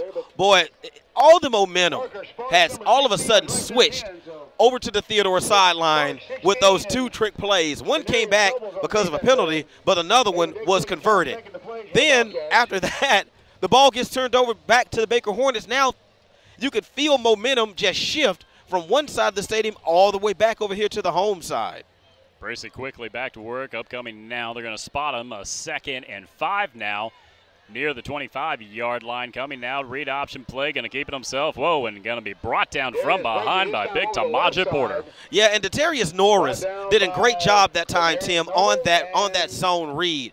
His assignment was the quarterback. He did not take his eyes off of Bracy. Bracy held onto the football, able to pick up minimal yards, Tim, on that play. It's going to bring up now, I believe, second down, well, actually third down, Tim, and about Third and short, a quarterback keeper. Bracy has room on the sidelines and pushed out of bounds. And they're going to spot him around the 45. That's going to be a first down no matter what. Bracy was looking to flip the field on that one. Yeah, you're starting to see some uh, signs of fatigue with the Theodore Bobcat defense, Tim, especially with the uh, with the front four. See guys walking around right now, hands on the hips. You can see Tamaji Porter right now, big number 99 at the nose tackle. He's starting to get a little tired. It is still humid out here tonight, Tim, and these guys have been on the field quite a bit on defense. Clock stops with less than four minutes remaining here in the second quarter. McMillan bouncing around on the outside, has opening creation on the left side, up the field and shoves Pruitt out of the way. Another big first down as they're into Bobcat territory. Yeah, and the defense is starting to do a lot of arm tackling, Tim. Guys aren't really wrapping up. They're starting to throw their bodies at these wide receivers, at these running backs, Tim, as we look at scores. Davidson with a big win over Foley, 42 to 6. Blount on top of Baldwin County, 21 to nothing going into halftime. Citronelle with a 10 to 6 lead over Vigor at halftime. John Blackwell with the call on that one. McGill a commanding 36 to nothing lead. And another huge connection, this time going to Melvin Hill from Darius Bracy. What a play. MGM going into halftime 7 to nothing over Fairhope, but Melvin Hill coming up for the Hornets and gets them inside the red zone as Bracy's just going to work right now. Yeah, and, and Baker is continuing to stay on a no huddle offense. So that does not give the defense an opportunity to substitute even though you can see some of these guys are visibly tired. When when guys get get when the guys get tired, Tim, I'm telling you, discipline starts to break down on defense and coverage. Bracy on the quarterback keeper, going to go up the middle. Whoa, and going to collide with a number of defenders on the play. Parker Sparks and Austin Smith trying to stop him there, and they get him at the 10 yard line, setting up a second and about four upcoming for Baker. They could still get a fresh set of downs. Yeah, without getting into the end zone. Exactly. So that's, that's a good point, Tim. That is a very good point because, uh, again, Theodore looks visibly tired on defense with 3.04 and the clock ticking here in the second quarter. Clock control the name of the game, and the name of the game on this one is Trey McMillan right up the middle and into the end zone. His second touchdown of the half, extending the Baker Hornets lead on a 10 yard rushing touchdown. Wow. That looked that looked too easy. That looked too easy for the Baker Hornets here. Trey McMillan, who I raved about in the preseason, he's back, he's healthy, and he's back where he knows how to get into. Tim, and that's the end zone. Mur- I'm sorry, about to say Murphy. Baker extends their lead here to 22 to 14 over Theodore. Mauricio on for the point after, not blocked this time, through the uprights, and that's going to capitalize on a huge drive that started with an interception. The Baker Hornets on top, 23-14. You're watching the Mobile County Public School High School Football Game of the Week.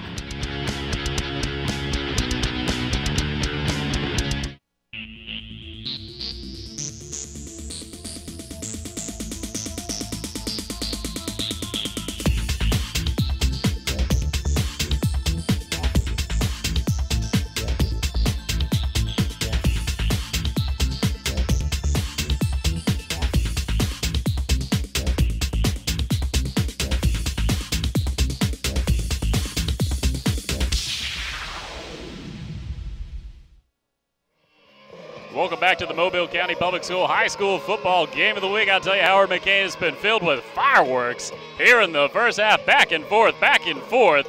Coming up with a huge play to start that last drive was Baker linebacker Tyler Field coming up with an interception. And then Darius Bracy and Trey McMillan took the offense all the way down the field, capitalizing on Trey McMillan's second touchdown of the night. This time coming 10 yards out, and the Baker Hornets extend their lead 23 to 14 with less than three minutes remaining here in this fast-paced first half. 27 total points in this quarter so far, Tim. Isaiah Hayes bringing it out the outside. Whoa, and just what a shot coming up on the play. Ozzie Quinn coming up, the junior, making a huge play. We've been talking about the big hits all night, Howard McCain. he was looked like he was shot out of a cannon right at Hayes was uh, my gosh, look at. And we're going to take another look. Well, maybe we're not. we're going to look at another replay. Our not cameraman sure that, was just so amazed right there. Yeah, there. that was Ozzie Quinney like he was shot out of a cannon right at Hayes. Brought Hayes down right around about the 31-yard line of Theodore. Even though that was a huge hit on the uh, kickoff return, still excellent starting field position for Trevor Andrews. He has to be smart with the football here.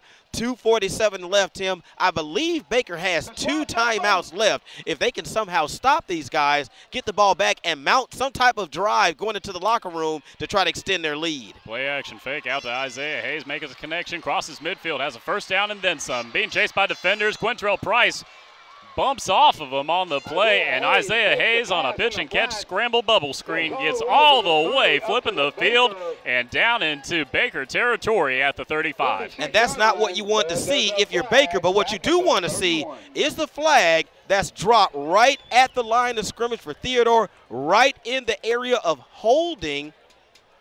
And that, again, that may nullify another huge gain by the by the Bobcats. Scores from around the area. Citronelle on top of Vigor, 10 to 6.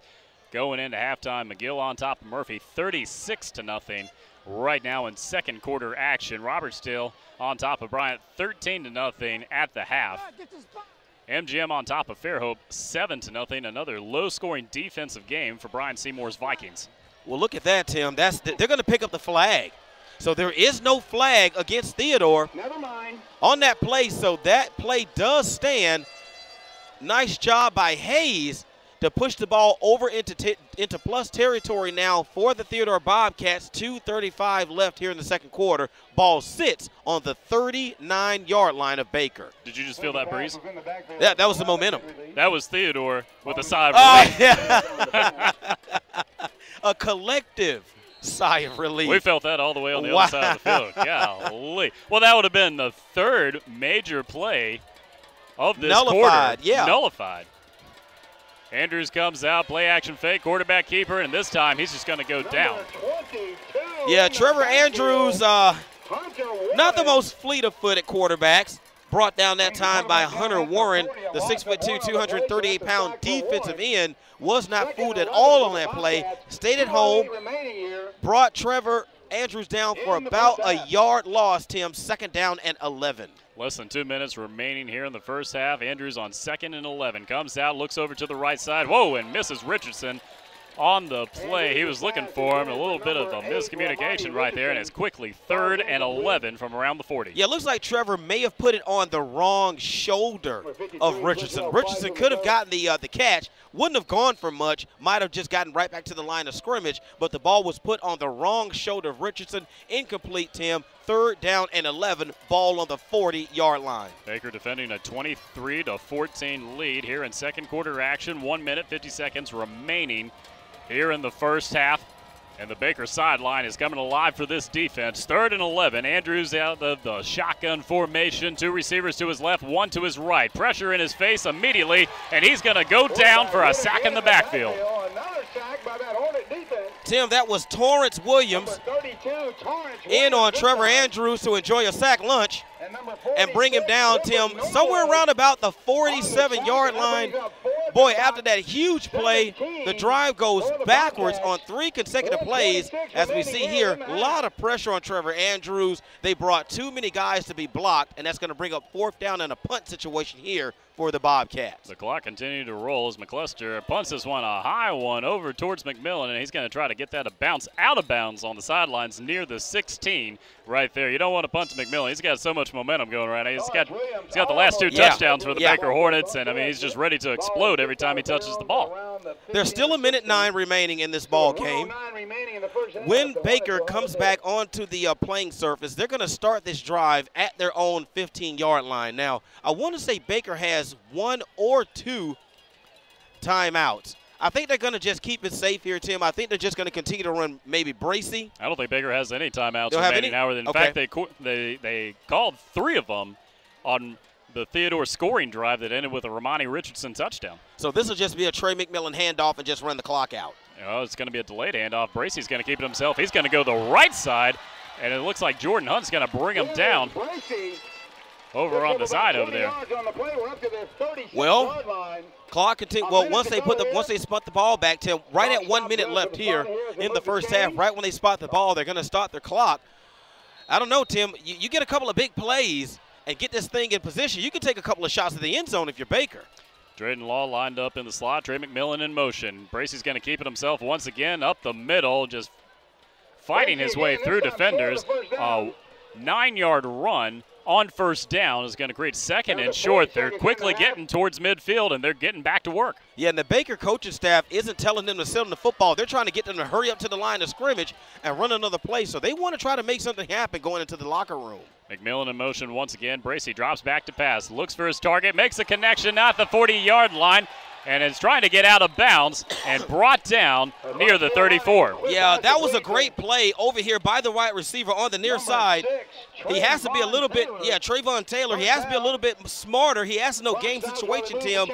Don't try to fake out the defensive back after you make the catch. Immediately get out of bounds and save time for the offense. You don't have any timeouts. 21.9 left in the second quarter. Fresh set of downs now, working from inside the 35. Bracy going back to work with the clock running. McMillan in motion on the right side. Play action fake, bump fake, rolls out to the right side. A flag comes out in the backfield, lobs it up for his intended target, and over the head of Melvin Hill. It's going to be broken up on the play. A flag in the backfield. Yeah, well, that's going to be holding that time on one of the big offensive linemen. I believe that is Jonathan Burpo that was holding, I believe, one of the defensive ends for the Theodore Bobcats when Bracy tried to scramble out into the right flat. So that's going to um, Blue team. so that's going to nullify. Well, it was an incomplete pass, so that's going to march the ball from the spot of the foul back into minus territory, which is going to be the 47-yard line of the Baker Hornets. Tim, nine seconds left. You can either do one or two things. Either you just snap it and take a knee and go into the uh, halftime locker room up 23 to 14, or you just scramble around and just throw something up deep, and maybe you can get a fortuitous bounce. Well, they got a guy that's about 6'4", 200 on the bottom of your screen in Drayton Law. Maybe they go to him. Bracy looking that way, lobs it up for Trey Oh, McMillan. boy. Picked off by Kiki Pruitt. Trying to bring it back into the field, has blockers on the outside, breaks away and brought down. Whoa, that could have been dangerous. Kiki Pruitt coming up with the interception right there, and that's going to take us into halftime. The Baker Hornets up 23 to 14, and Howard McCain has been back and forth, back and forth, everything advertised in this 7A rivalry matchup. And Tim, the thing you didn't want to have happen going into the halftime locker room almost happened for Theodore. They were able to get an interception. Kiki Pruitt, goodness, if he could have had a couple of more blocks, might have been able to spring that thing into the end zone for six going into the locker room. But as it is, it's going to be an innocent, just a uh, innocent interception, and Baker is going to go into the uh, locker room up 23 to 14. But quickly, let's go down to the field and Al Whedon. Thank you, guys. We're here with Coach Eric Collier. Coach, an up and down half here. Interception ends the half. You don't get to take advantage of it, but you had some opportunities tonight. We did. You know, uh, it's, it's a great ball game. Uh, folks getting their money's worth tonight. Uh, nobody said it was going to be easy. We down right now. We got to go in and fix some things, and, and they moving the ball offensively. I tell you, they're doing a great job with, with, with what they're doing uh, running the football. So we got to go in and figure some things out, and uh, we got a little bit better special teams too. But offensively, we're, we're doing fine. It's a great ball game. That's what you asked for. All right, we appreciate it, Coach. Good luck in the second half. Back up to you guys. Thanks, Al. We're expecting more fireworks as we head into halftime coverage of the Mobile County Public School High School Football Game of the Week. The Baker Hornets on top of the Theodore Bobcats, 23 to 14. You won't want to miss this second half.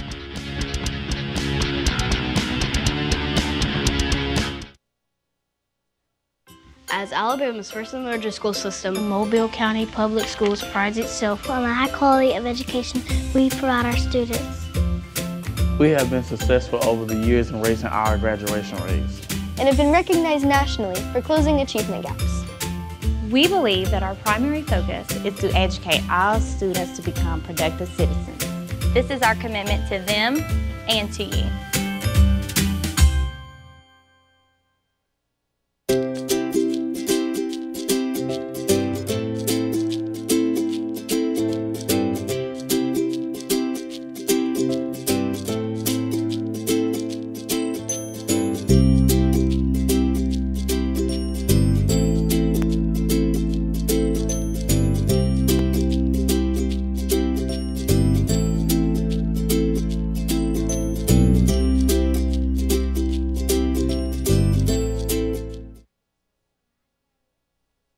I'm Ashley Rich, District Attorney. Today I want to talk to you about a program that we at the District Attorney's Office has with the Mobile County Public School Systems to help with the bullying issues that are going on in today's world because of social media and because our young people think it's okay to bully others. It's not okay to bully others. Bullying is repeated verbal and physical abuse, ongoing verbal and physical abuse. We at the Mobile County District Attorney's Office want to help the community, we want to help the public school system, and we want to stop bullying within our community. It's really, really important that we do so. And parents need to be responsible if their child is either being bullied or if their child is a bully. Parents need to be involved to stop the bullying or to help the child if they are being bullied. And we at the Mobile County District Attorney's Office and the Mobile County Public School System are also here to help.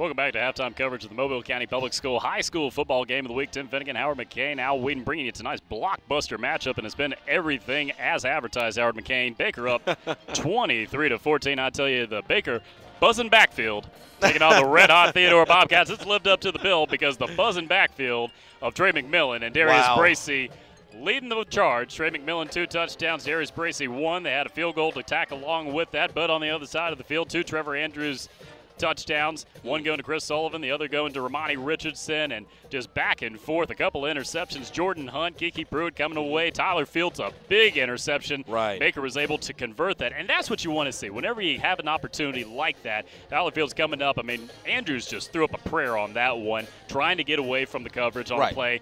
Defense taking advantage of it, but the offense, you got to take advantage of those opportunities and go and capitalize, and that's what Danny Smith's unit has done it's been a fun game to watch for me because I just love to see these guys come out here and execute. And that's exactly what they've done. Have there been some miscues? Yes. There have been some penalties. We don't have that total, but it's been a lot, okay? If you're just tuning in, it's been a lot of penalties. But that is not taken away from the action. Both of these running backs, uh, you know, we saw last week Leonard Gatson just go nuts last week, along with Morgan in the backfield. Today's been Trey McMillan. He looked so silky smooth out of that backfield, getting the handoffs from Bray, uh, from Bracy. I'm sorry, but when Bracy has kept the football, he's done an awesome job running in between the tackles. So they really haven't had to use the passing game a whole lot tonight for Baker. So nice job of executing the offense for the Baker Hornets. On the other side for the Theodore Bobcats, they can't be ashamed of what's going on. They're down right now 23 to 14, but they played well. The penalties is what's killing them the penalties have nullified a couple of big plays. You give them back those big plays, it's a possibility they score. But since they didn't, they're now trailing 23 to 14. I'll tell you, the most interesting lineup that we've seen so far tonight Gatson and Morgan both on the gadget plays. Right. Toss out to the running back, and they're throwing the ball. Big completions. One was to Sullivan, the other one was to Hayes. What happened on both? Called back. That's right. And like I say, you, you, you take out the penalties, it's still been a really, really competitive, Really, really fun game to watch. And it's just like you said at the opening.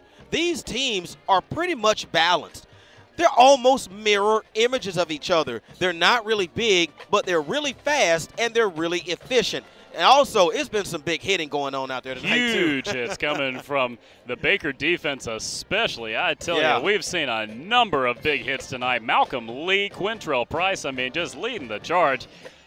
This is a hostile environment. Yeah. Now, as far as any second half adjustments for Baker, they have to figure out a way to contain Sullivan. Okay, he is he is all over Davis from that cornerback position. Maybe, just maybe, Coach Smith is going to roll a safety over and give Dave and give Davis some help with Chris Sullivan and force somebody else to beat him in the passing game. If not, Sullivan is going to continue to just go nuts. If you're Theodore, as far as your halftime adjustments, you've got to get back to what you do best. Throw the football. Throw the football. Throw the football. You have awesome wide receivers. Get them the ball. Absolutely. And talking about awesome athletes, how about being a playmaker on and off the field? You have to be. Every year we like to highlight student athletes that are making plays for their schools on and off the field. And this week we want to talk about a very special student over at Vigor High School, the Gulf Coast Federal Credit Union Scholar Student Athlete. This week is Charles Crawford, a phenomenal player. He plays safety for the Vigor Wolves. Charles Crawford, this week's Scholar Student Athlete.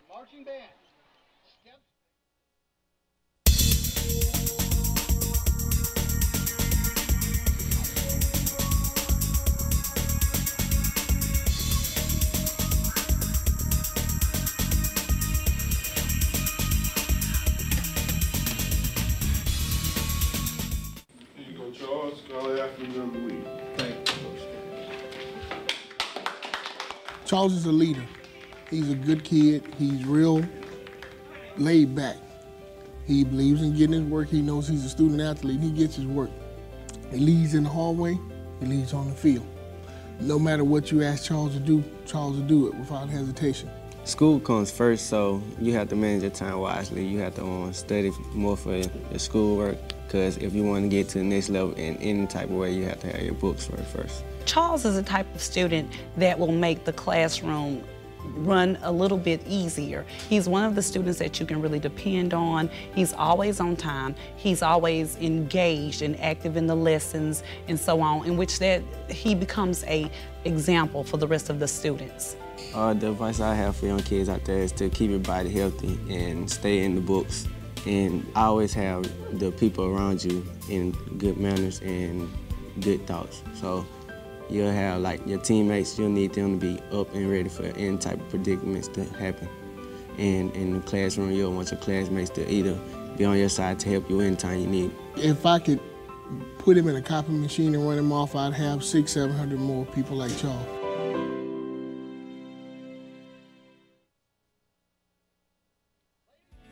The class of 2015 earned over $97 million in scholarships, and the class of 2016 is already on its way. Jackson State University. Alabama. Troy University. Because one out of every three MCPSS students goes on to college with at least one scholarship in hand. Go Blazers. Southern Miss to the top. Go Bulldogs. Go Badgers. Go Jags. Graduating students who are college and career ready. Children thirst for knowledge, and the Big Station 93BLX saw an opportunity to fulfill this by partnering with the Mobile County Public School System. Together, they established the 93BLX Rolling Reading Program. On Thursdays, DJs from the station stop by a selected elementary school to read and interact with the kids. This allows the DJs to help kids foster a love for reading and get them excited about all the new things they will learn and discover by reading a book. Reading is fun, and it starts with us. I have a lot of great memories from high school, uh, some great experiences. Uh, just being in the Shaw Band was a great experience. With the leadership in my schools, I always felt like they were very passionate about what they were doing. They cared about, about their calling to teach and to lead the schools.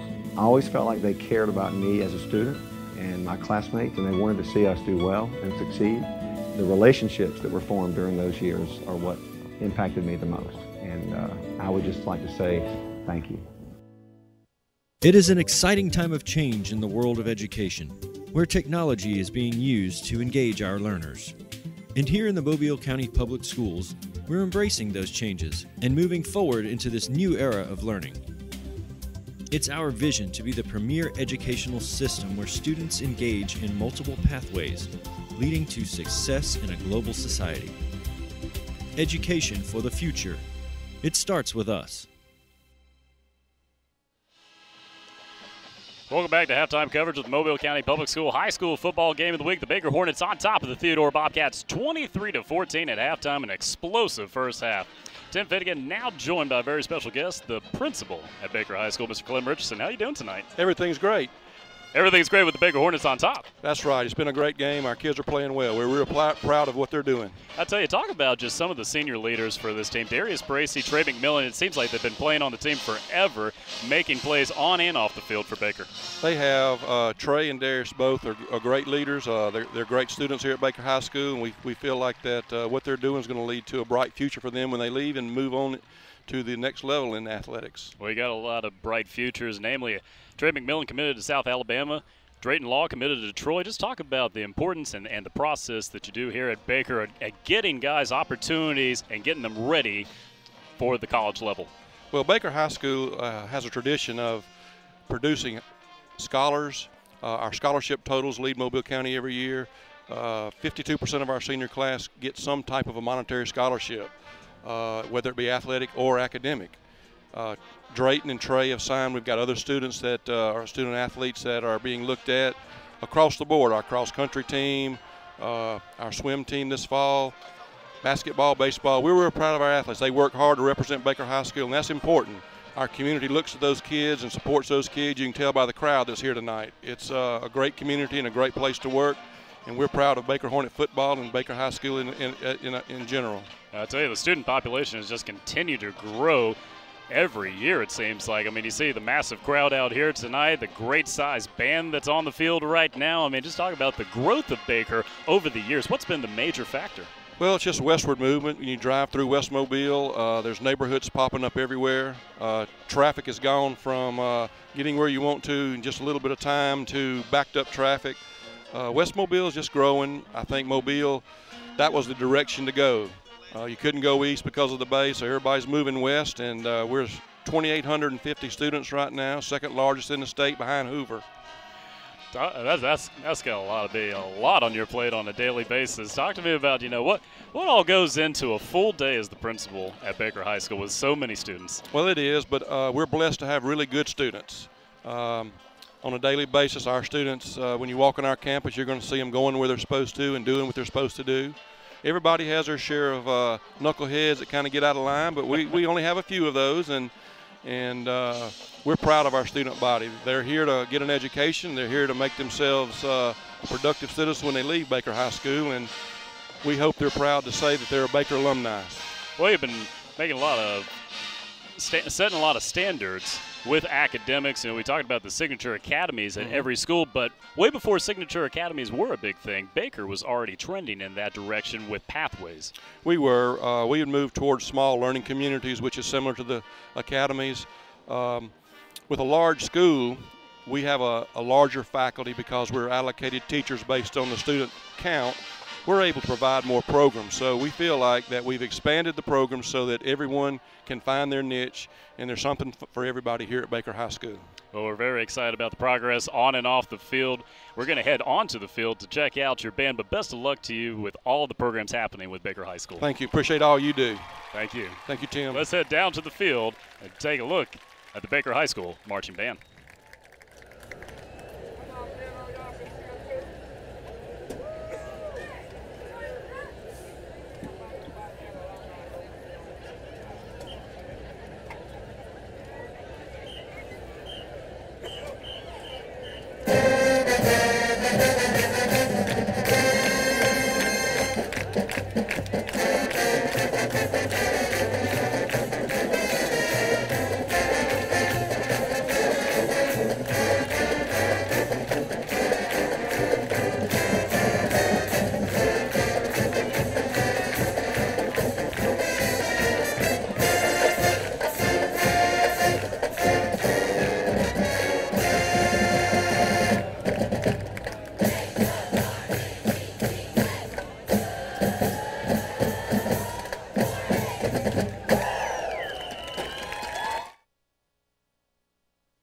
Started off at Fonde Elementary, then I went to Azalea Middle School, and then Davidson High School for my high school years. The Mobile County Public School System prepared me for my career by showing me why it was so important to give back. I am involved with the Big Brother Big Sister program, and I've been paired with a young boy that was in the third grade and is now finishing up the fourth grade. And it gives me an opportunity to give back and help mentor him.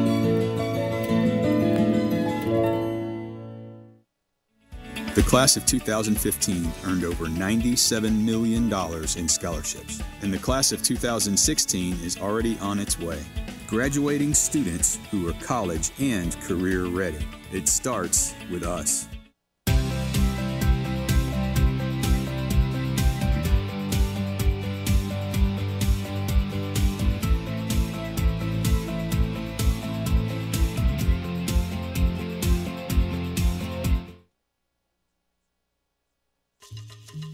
The Environmental Studies Center is a natural sciences education facility designed to provide unique learning experiences. In addition, wildlife rehabilitation plays a vital role each day at the center. Featuring more than 500 acres of rich woodlands, the center affords teachers, students, and the general public an opportunity to experience firsthand the natural environment. Environmental Studies Center. It starts with us in the Mobile County Public Schools.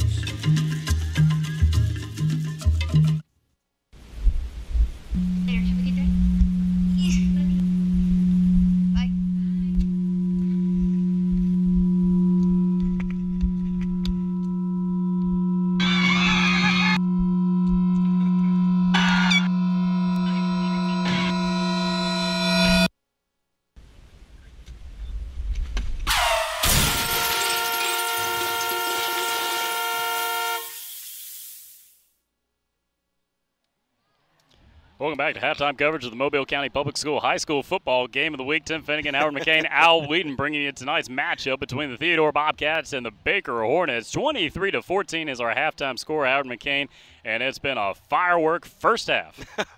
the only thing that hasn't happened is actual fireworks haven't been shot off in the stadium. Not yet. Not yet. Not yet. Who knows? That may come. So stick around. We may get them. But uh, so far, the fireworks have been on the field.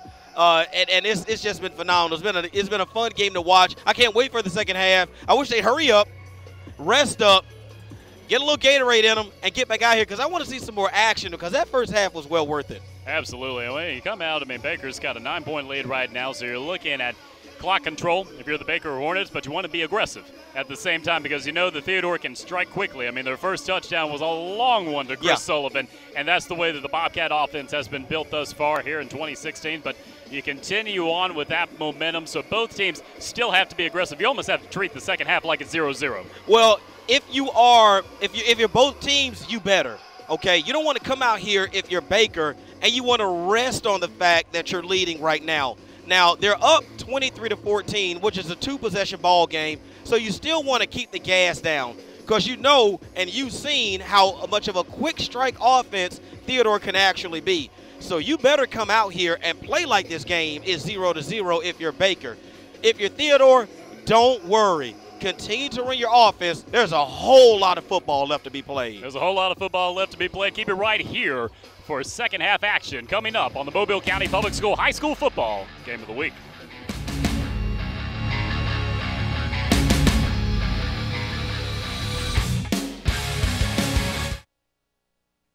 It is an exciting time of change in the world of education, where technology is being used to engage our learners. And here in the Mobile County Public Schools, we're embracing those changes and moving forward into this new era of learning. It's our vision to be the premier educational system where students engage in multiple pathways, leading to success in a global society. Education for the future. It starts with us. Welcome back into second half coverage of the Mobile County Public School High School Football Game of the Week. We're going to head down to the field with Al Whedon standing by with Baker head coach Danny Smith. Thank you, guys. We're here with Coach Danny Smith of the Baker Hornets. Coach, talk about your first half performance. Kind of up and down ball game there in the first Hey, half. yeah, I tell you, we knew Theodore it was going to be a war out here. Theodore's got an outstanding team, man. I tell you, it's, it's, it's two really good football teams going at it, and uh, I tell you, we just it's, it's one series at a time, you know. And we got we Theodore's going to be ready to play the second half. We got to match their intensity. You told me you wanted to eliminate penalties. Had a couple penalties, nullified some runs, but you guys still got the lead right now. Yeah, we did. You know, we, we just got we got we can't do that. Self-inflicted wounds get you every time, man. Uh, you're not a very good offense instead of going first and ten, you go first and fifteen. You know, we talked to guys about that, and um, I think we're going to settle in and play a lot better second half as far as the little penalties like that. It's, it's really hurting us in the first half. We got you. Any update on Mr. Stallworth? We saw him with an ice pack on his knee. We haven't seen him back since. I uh, just got a report. Talked to the doctor. He is out the second half. Okay. Appreciate it, Coach. Good luck in the rest of the game. Thank you, man. Back up to you guys. Thanks, Al. I tell you what, you know, when you take a look at both of these teams, a lot of composure, Howard McCain. Composure both of these coaches leading into the second half. A lot of adjustments need to be made. You, heard Danny Smith talk about the penalties. Can't have the self-inflicted wounds. Yeah. Now he wants his team to be composed, but he's not. Danny Smith sounded like he was about to come unglued when he talked about those self-inflicted wounds. And I'm pretty sure if you talk to Coach Collier, he's going to say the exact same thing. Stop shooting ourselves in the foot. So if we can do that, man, I'm telling you, there's some great things we can do on offense. Let's take a look at some of the highlights of the first half. I tell you, a very explosive, a lot of fireworks from a scoring plays. We take a look right here. Started off, Jordan Hunt had an interception. Trevor Andrews comes over, capitalizes the big strike to Chris Sullivan. That started the game off. And then from there, Baker coming back, Trey McMillan trying to make a big play on that return and they would eventually capitalize with a field goal. Seven to three would be the score at that point. Then Theodore getting the ball back, and Morgan coming up trying to make something happen, but McMillan would actually come around and put Baker on top at that point. Darius Bracy scoring a big 28-yard rushing touchdown, giving Baker the lead, but then back come the Bobcats Play action fake from Trevor Andrews. They went down the field that time to Sullivan, ultimately getting out to Romani Richardson, getting Theodore the lead. Then back come the Hornets. Big play from Drayton Law, big plays from Trey McMillan, two touchdowns, and that brings our score now 23 to 14. Yeah, unfortunately, after that Trey McMillan uh, touchdown, Tim, the uh, point after was blocked. Chris Sullivan had a huge play right there, but then lopped up the big interception, and then Baker capitalized with Trey McMillan's second touchdown on the night.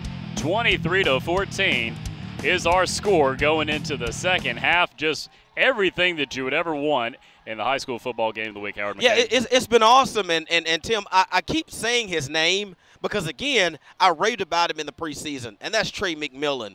He looks so good out there on the football field. Looks like he's having fun. Looks like he's able to do what he wants to do from that running back position. So he's been really, really fun to watch. Leonard Gatson, last week we saw him go nuts against Mary G. Montgomery. He's actually been held in check a little bit here tonight in the first half for this Baker Hornet defense. So, so far, 23 to 14 is our score. That missed point after hope to goodness that thing does not come back to haunt the Hornets. Well, the Hornets are up by two scores no matter what mm-hmm. at this point. Right, at this point, Could correct. that extra point come into play? We'll have to find out in the second half. Yeah. But a lot of the players coming up with huge plays in the first half. Trey McMillan, two touchdowns on the night. Trevor Andrews, two passing touchdowns to Chris Sullivan and Romani Richardson. Darius Bracy capitalized with a rushing attack, a touchdown of his own, a field goal on the board. Back and forth, mm-hmm. rushing from Baker, passing from Theodore. That's right. Now Theodore did win the opening toss of the of the game, Tim, and they did defer to the second half. So that means coming out of the locker room, Theodore will get the ball first. So they get an opportunity to be the first team to try to seize momentum coming out in the second half. Can they hang some points on the board? And like you said, right now they're down by two positions possessions as we see both teams starting to make their way back onto the playing field. Well, you got to keep the pedal on the gas if you're both of these teams. Really, I mean, you have to start a brand new ball game with a mindset. Even though Baker has the two score cushion right now, how long can that hold up whenever you've got the fast strike ability of these Theodore Bobcats on offense? And they do. They do have that ability. We've seen it. We saw it last week. We've seen it so far in the first half. This week, if they, like I said, or, or like Coach Smith said, it's those self inflicted wounds that have really hurt Theodore tonight. If they were not there, it's a possibility this could be a Bobcat lead uh, in this football game currently. Well, uh, well, there was about three to four major plays there in second quarter. They got called back. We talked about the gadget plays coming from the running backs, passing on those plays. What could have been right is all in the past as we start the second half. Mauricio boots this one down inside the 10-yard line. Gatson's going to bring it up the sidelines on the right and get out of bounds. A great return Yeah. is going to get them to about the 37 yard line. Yeah, you know, eh, eh, both teams on special teams haven't really performed that great. Now, when I say that, I say that from a defensive standpoint. Both teams have been able to secure excellent starting position for their opposing for their offenses in, in for their respective offenses in this ball game. Baker was not able to deny these guys the 30-yard line. Instead, they come out Theodore first and 10 at their own 37-yard line.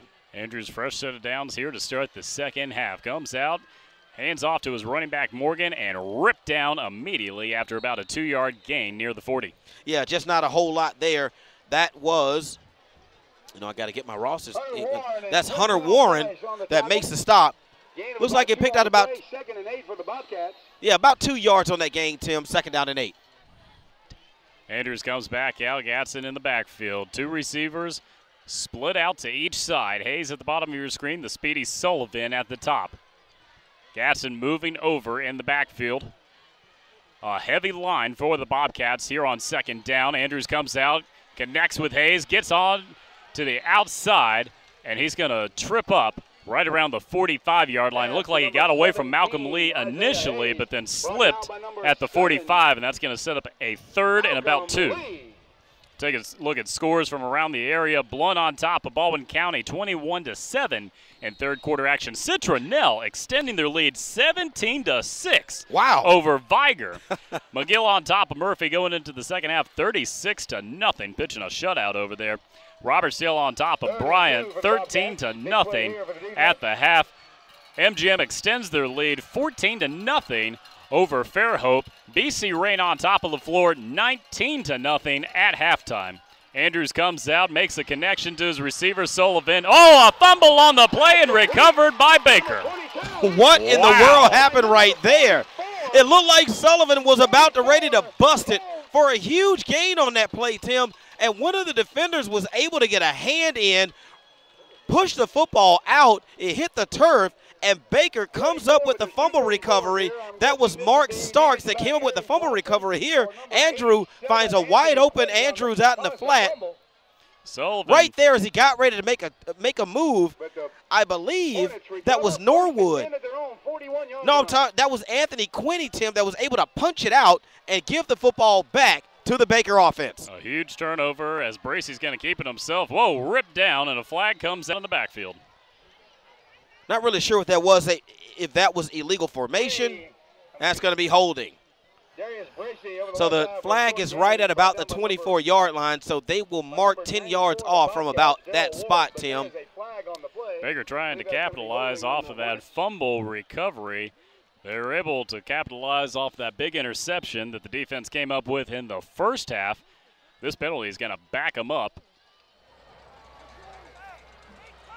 It looks like they're going to spot them all the way back. Ooh, inside the 30. Well, they're just going to keep going on this one. Look at that, all the way inside the 25 yard line. So we're looking at about first and about 26 upcoming here for the Baker Hornets on offense. And again, holding is a spot foul, and that, that hold took place in the backfield. First and extremely long. They've got to cross midfield just to get a first down. Bracey drops back to pass pressure in his face, and he's just got to go down on that one. A huge sack in the backfield. Austin Smith coming up and leading the charge. Yeah, and he's going to lose. Looks like he's going to lose an additional, let's see, 5, 10. That's going to bring up second down and about a quarter of a mile. Yeah, that's going to he's going to lose about another 10 yards, Tim. So we're talking about second down, um, second down and about 20, no, 30. About 36. We'll call it second and way long. second and about 36. Second and forever. Bracy comes out, makes a connection to McMillan. McMillan coming up the sidelines and going to be shoved out of bounds. He's going to get some of those penalty yards back and that's going to get them near that 30-yard line. Yeah, it's going to be third down and forever. Still coming up here as we take a look at some 5A region standings. I tell you what, it is a crazy 5A Region 1 this year. Citronelle on top of Vigor. Vigor is in jeopardy of starting the season 0 and 3 at the Wow. bottom of the standings. Jackson, St. Paul's actually had a loss in the previous week on the road. Williamson trying to get their way into the top four. Faith Academy, Wilcox Central still looking for their first wins. Bracy drops back to pass, looking long, fires out, has the receiver, and it's going to be intercepted on the play. Whoa! It looks like no, they're going to call an incompletion. Says he didn't maintain possession. It looks like they're going. It was broken up, but they're going to call him down on the play. Cameron Brown coming up with the play. Looking at 6A, Baldwin County in a battle right now with Blount, Saraland, and Spanish Fort on top. BC Rain on top of LeFlore right now. How about the LeFlore Rattlers? A different type of LeFlore Rattlers.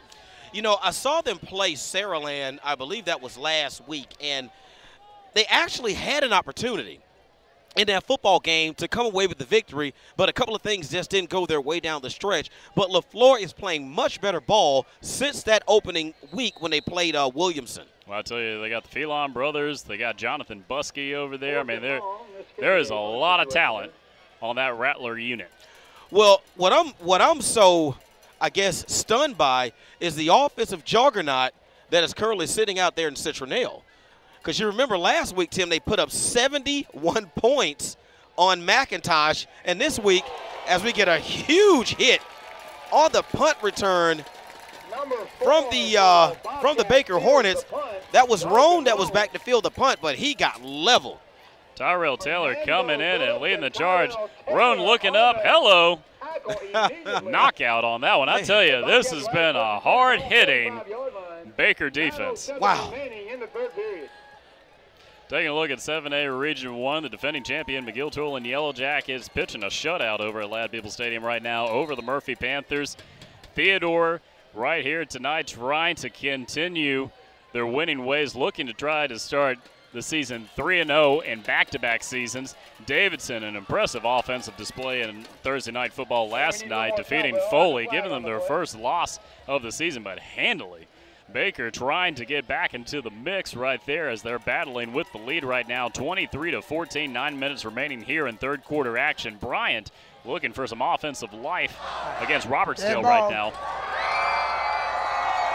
Yeah, while we were while we were looking at those standings, Tim, we had a false start penalty against the, the uh, Theodore Bobcats, so that moves the ball back to their own 40-yard line, first and 15, Theodore. Trevor Andrews going back to work. Hayes and Sullivan, the receivers. Gatson, the running back in the backfield, and they've got some extra blockers on that offensive line. Richardson now in as a tight end. Pump fake, Andrews firing off to the outside. Sullivan, oh, off the hands on the play. Malcolm Lee was in the area on defense. Whoa, and a little bit of a scuffle over there is going to draw Wow. a flag. And that is so uncalled for after the play. I believe that was Malcolm Lee. The play was over. It had fallen incomplete. Lee and Sullivan got tangled up just a little bit, but uh, Lee stood over Sullivan and taunted him right in the vicinity of one of the officials, and that's going to be an that's going to be a personal foul penalty. Well, it's almost like a completion. Well, it almost is him, but not only are they going to get the yards for the penalty, they're going to get the yards, I believe. Be a 50-yard penalty. I was about to say. Wow. Look at that there, all the way into the red zone off of That that. can't be where the no, that can't be where they're going to uh, mark the penalty off from. Oh, now, Okay, they- here- now yeah, they're going there to we back it go. up. Now they're going to back it up. That was almost about a 30 or 40 yard penalty. Both of them dead ball. Unsportsmanlike, white team. Unsportsmanlike, Those blue are off, team. those are offsetting. As we take a look right here, Sullivan right off the hands. Lee makes the hit right at the end, and they get a little tangled up right there, an exchange of words, and that's going to draw the flags. They were offsetting, but the, the important thing, Tim, is they were offsetting after the play, which means the play does count. Now, if those penalties happen inside the play, they'll just simply mark off. They'll, they'll just simply um, they'll be um, uh, canceling out each other, and they'll replay the down. But since they happen after the down, the down does count.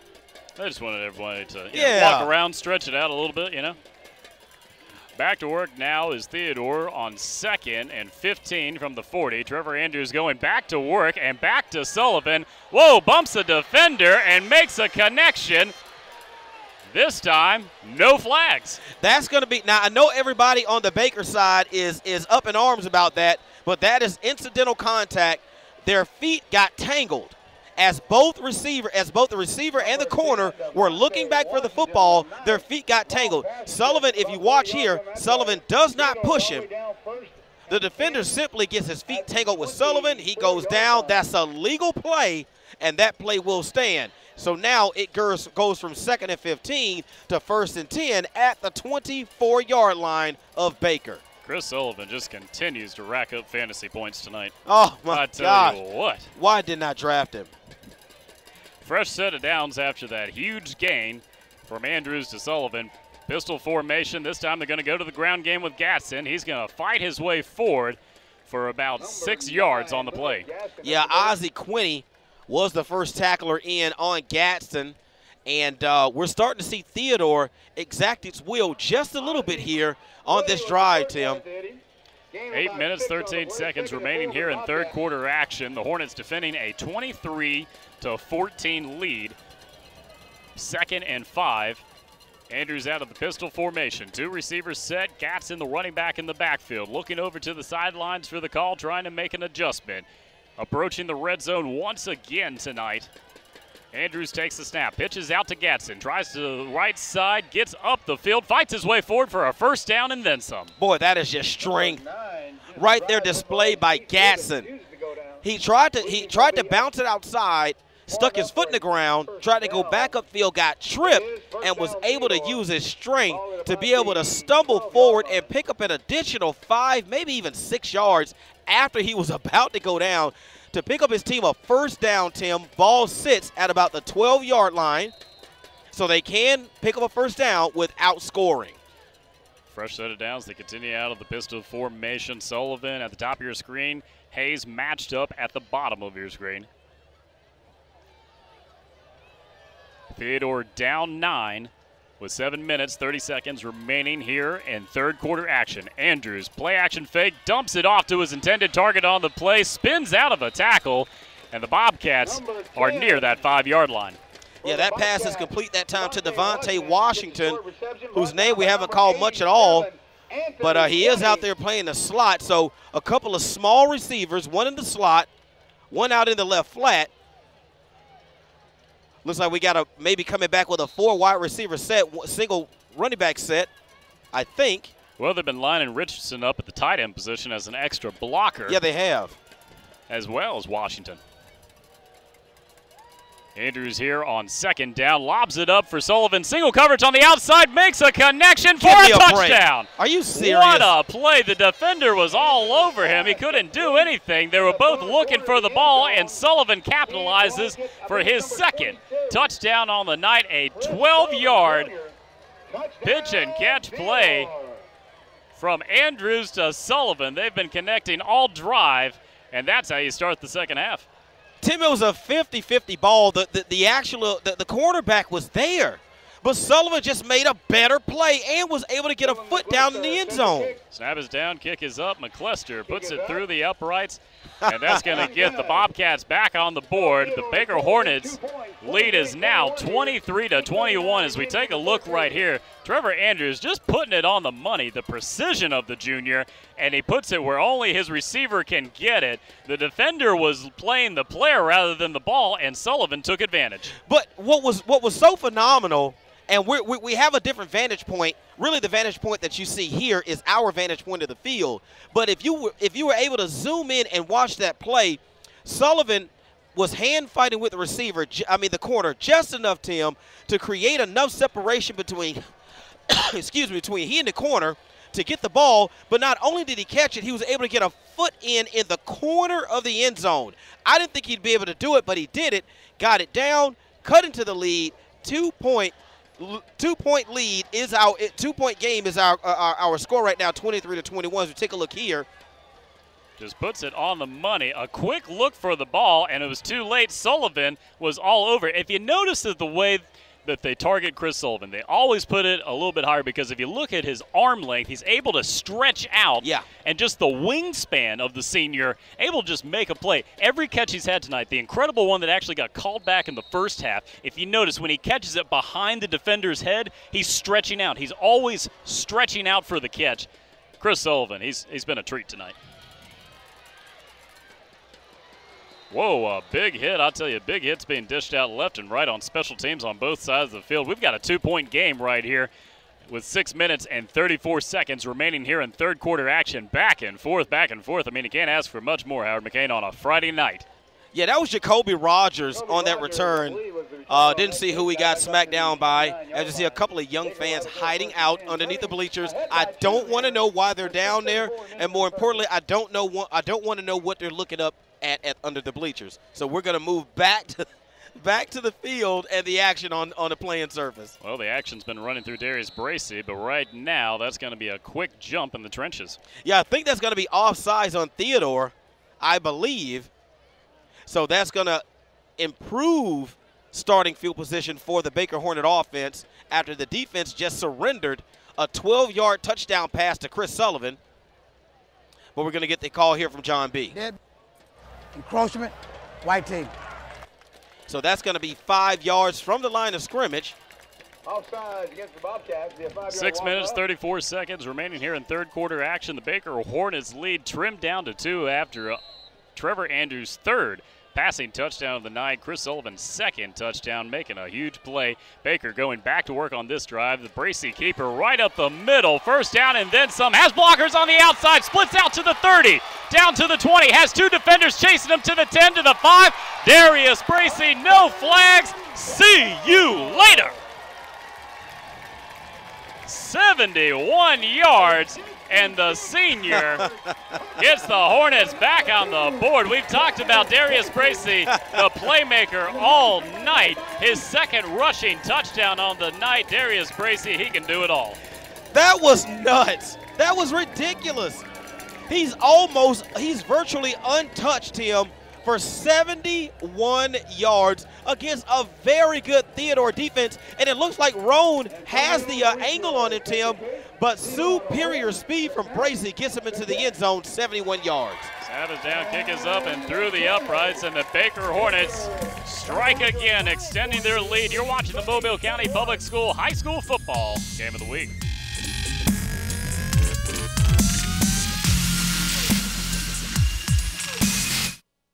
The more parents are involved in school, the more likely it is a child will succeed.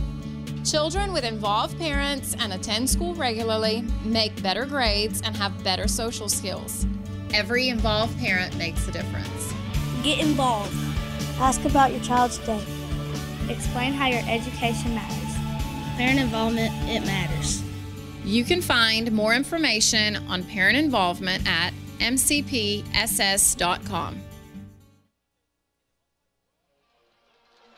Welcome back to the Mobile County Public School High School Football Game of the Week. Tim Finnegan, Howard McCain, Al Whedon bringing you an explosive second half coverage of Baker and Theodore. The Baker Hornets on top now 30 to 21 with 6 minutes and 22 seconds remaining here in third quarter action. You don't want this game to end, Howard McCain. I'm not sure how this game was advertised during the week, but up to this point, it, it has been as advertised. If it was advertised as a shootout, 51 total points in the ball game, Tim, and we're only halfway through the third quarter.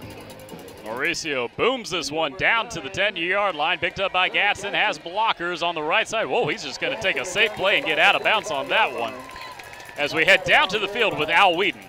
Oh, yeah, Tim, we're down here on the field. Before the game, I had a chance to talk with Baker coach Danny Smith about the uniforms, and Howard talked about it earlier. It got a great new look. You notice the, the script B is not on the side of the helmet anymore. I asked Coach Smith what's up with that. He said he was trying to look for a Hornet. He actually liked the Hornet of Alabama State, but he couldn't find the exact match to go with it. So instead, what did he do? Like Alabama State, he put Hornets on the side of the helmet. But he said, you know what, for tradition, we'll keep the baseball B down on the 50 yard line.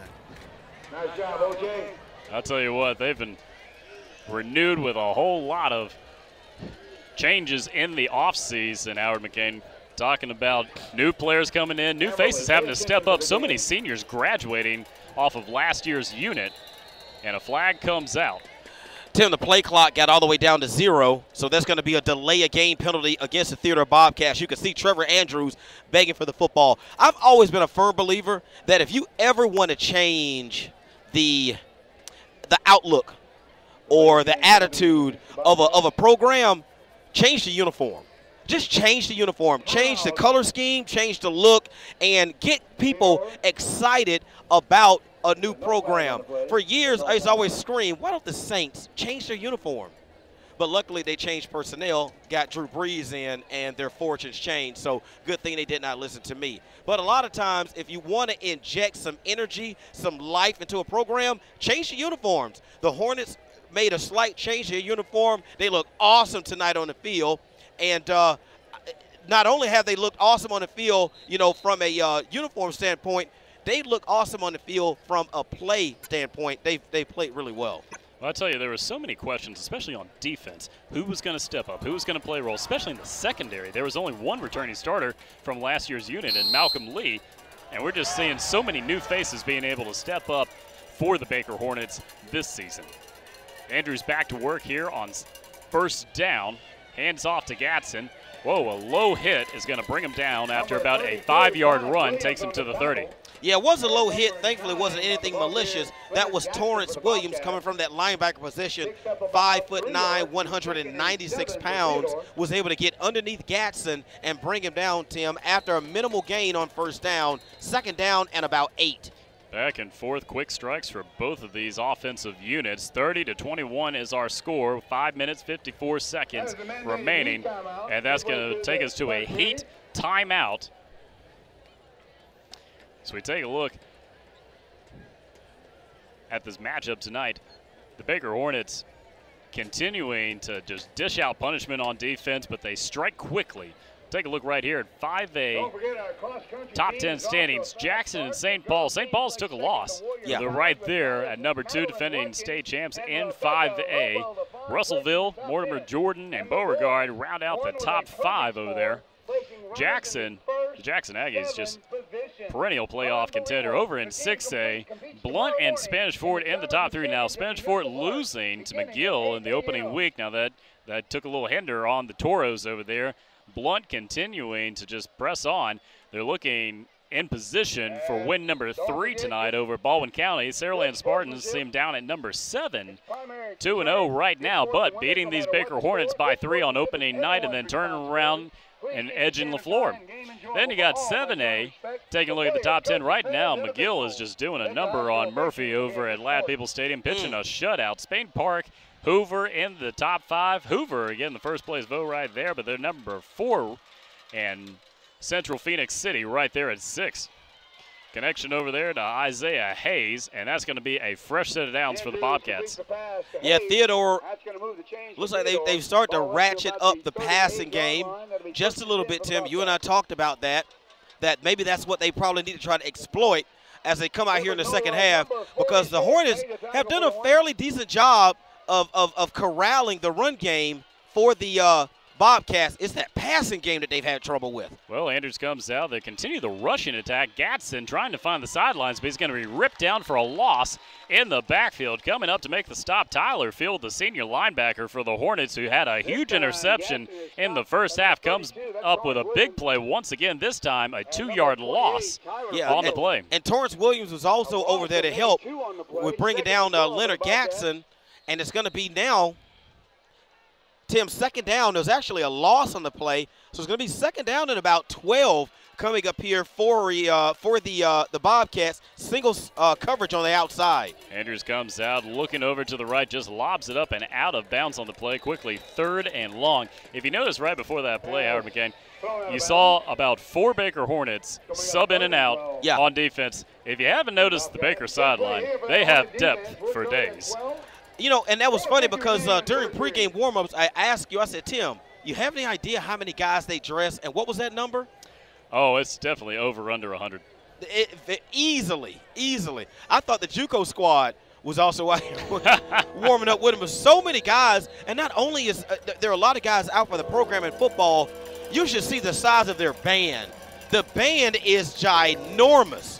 Third and 12, Andrews over the middle. Hull couldn't connect with Richardson on the play. Two flags out on the play, and Baker is just shaking their head over that one. Yeah, Tim, that's going to be the right call. Um, the uh, defensive, Another flag. Yeah, the defensive back was all over Richardson as he uh, came across the middle and denied him an opportunity to catch the football. So that's going to be pass interference on the defense, and that is going to be enough for first down for the uh, Theodore Bobcats, Tim. It's interesting how that third flag just came out so late. You wonder what happened after the play was over. Well, they're backing up. Now they're marching forward. Back and forth, back and forth. March it off properly now. hey, they want to make sure they get it right. Well, it was third down. It was going to be third. Interference. Blue team. Well, it was going to be third down and 12, but of course, after the 15-yard penalty, Tim, that is going to be enough for a first down. So that pushes the ball over the 50-yard line into Baker territory.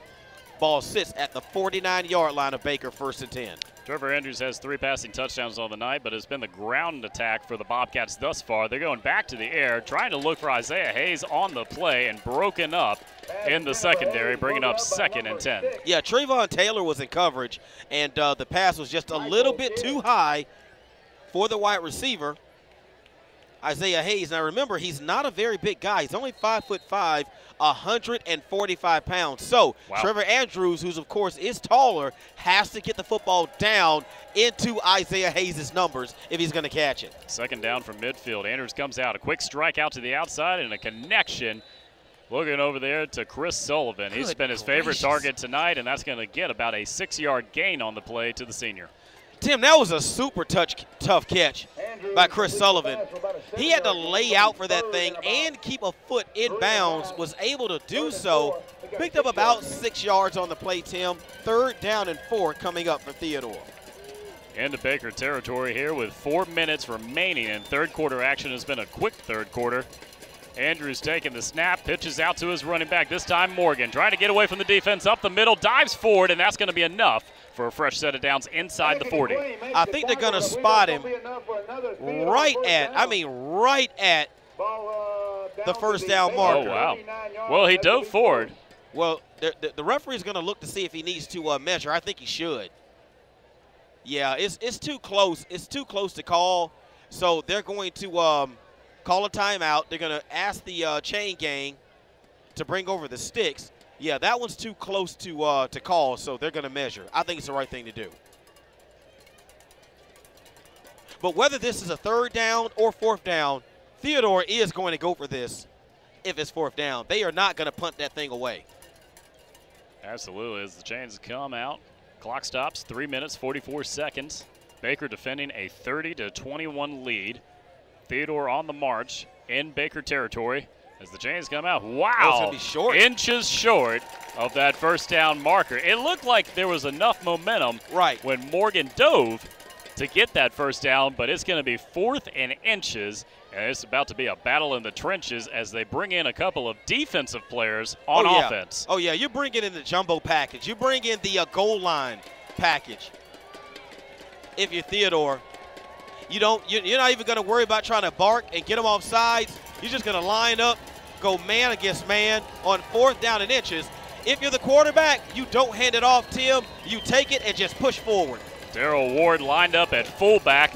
Andrews is going to keep it himself, and they're going to get a push push on the play. it looked like Andrews. It's going to be enough. It looked like for a second he needed a little bit of extra push. Yeah. You like that little reference right there? You know? little USC? Just a little bit. USC little Notre bit. Dame, the Bush push. Old Reggie Bush, huh? Just need a little help into the end zone. Just a little bit. Just, a little help from your friends. That's all you need. Well, that's all the, the Bobcats needed right there is that's going to get them enough for a first down. That that yard marker might have moved about a couple inches, but that's all that they needed. That's all they needed. Fresh set of downs. Man in motion on the play. High snap. Play action fake to the running back. A strike over to Richardson. Bobbled in the air. Ho! That could have been dangerous right there. Ramani Richardson trying to keep his eyes on the ball, but Yeah. the defenders came in and were able to disrupt the pass. Yeah, the tip drill almost got started that time for the Baker Hornet defense. Richardson just could not get a bead on it. Trevor Andrews put it right on him, right in his hands. Richardson just couldn't squeeze it and bring it in. Incomplete pass, second down and 10. Ball sits at the 37 yard line of the Hornets. Gatson in motion, three receiving targets to the right side. Andrews takes a snap, looks over across the middle, throws a strike low, and makes a connection this time to Gatson at the 20 yard line. Tim, in the passing game, Baker on defense is not getting any pressure here in the second half on Trevor Andrews. Trevor Andrews has enough time to sit back, wait for his uh, uh, wide receivers to go through their, their route before he has to deliver the football. This defense has to put some pressure on Trevor Andrews as he finds Richardson right in the middle of the formation. Play action fake once again across the middle, this time going to Richardson inside the five, and he spins out of a tackle and into the end zone. Ramani Richardson, second touchdown of the night. Trevor Andrews, fourth passing touchdown. Richardson able to make a connection on a 23 yard strike across the middle and spun out of two tackles and into the end zone as we take a look right here. Andrews selling the fake, gets it out to Richardson high and spins out of a tackle. There were three defenders in the area, and Richardson is on the board for the second time tonight. Snap is down. Whoa, a low kick from McClester. No good on the play. The Bobcats get on the board, but the Baker Hornets still holding strong here in the third quarter. You're watching the Mobile County Public School High School Football Game of the Week.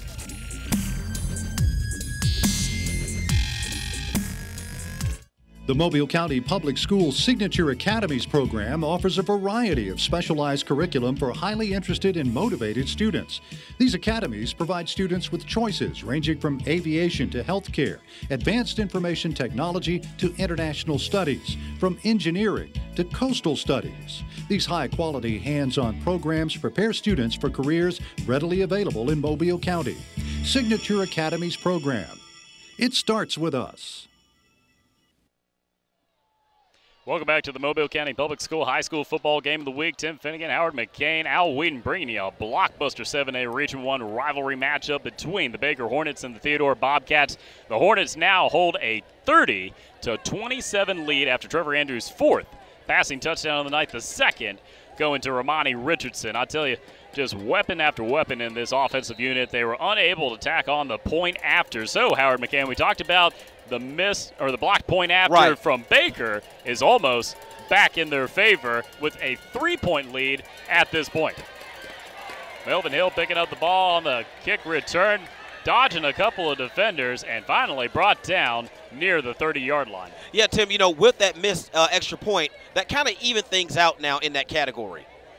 Take a look at scores from around the area. Whoa, Blount explodes 41 to 10 in fourth quarter action in their game. Vigor now has a lead 20 to 17 in the fourth quarter. The Wolves came all the way back. Oh, boy. McGill on top of Murphy, 43 to nothing mm. in the fourth quarter. Robert Steele over Bryant, 43 to nothing in third quarter action.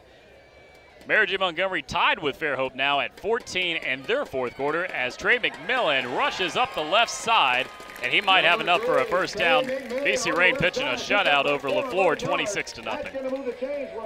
Trey McMillan, he's been on the sideline for quite a while because that was a very long drive put together by Theodore on that last possession. So it's up to the uh, the Baker Hornet offense, Tim, to give their defensive guys a rest. So can they string together a few plays and give their guys a rest before they uh, come back on the field? Bracy takes the snap, hands off to McMillan. Oh, had some danger in front of him, but gets away on the right side and being chased out of bounds. Austin Smith dragging him near the 40 yard line. Minimal gain, if anything, on that play. Yeah, he may have picked up about a half yard. He ran about 30 yards to pick up about half of a yard, but that's just really good defensive pursuit that time by Theodore. Now, Theodore also had a chance to sit on the sideline and get some rest. So um, hopefully they're a little bit fresher coming out here to uh, defend this quick strike Hornet offense. And we saw, we say quick strike because remember, Bracy was able to go 71 yards on a carry on the last possession. Well, McMillan gets this carry up the middle. He doesn't want to go down, and Parker Sparks is going to finally wrestle him down after a three yard gain. Takes him to the 45 yard line. The clock continues to tick down. Two minutes remaining here in the quarter. It's a field goal game. Yeah, Parker Sparks has to be somewhere around double digit tackles tonight from the linebacker position as uh, both teams look to the sidelines to get their uh, next upcoming play. Third down here, Tim. This is a this is an important play. It really is. And I know we're just down. We're just down to under two minutes left in the third quarter. But this is an important play, especially for Baker, because right now Theodore has the momentum, having having get, having gotten that score on their previous drive. Bracy comes out, three receivers set, play action fake, looks over for Hill on the outside, looking for the ball, catches it, but out of bounds on the play. Dalton Roan in coverage continued to just masterfully play him in single coverage the whole time. Hill was looking for the ball, but unfortunately out of bounds when he landed. For Theodore on offense, what just happened is exactly what you needed your defense to do. As we take a look here. Good placement on the play, but yeah, he was able to get part of his foot in bounds, but his heel came down out of bounds. The Theodore Bobcat defense did exactly what the offense needed them to do. Go out there, get us the ball right back, three and out, Huge punt upcoming here. Dalton Roan and Jordan Hunt's just going to watch this one. It's going to take a Baker bounce down inside the 10 yard line. That's going to pin them deep as Trevor Andrews and the Theodore Bobcats go back to work with one minute and 24 seconds remaining here in third quarter action. There's a whole nother quarter of action. Right. And the action has not stopped, Howard McCain. And Theodore has proven that it doesn't matter where they start their, their next drive.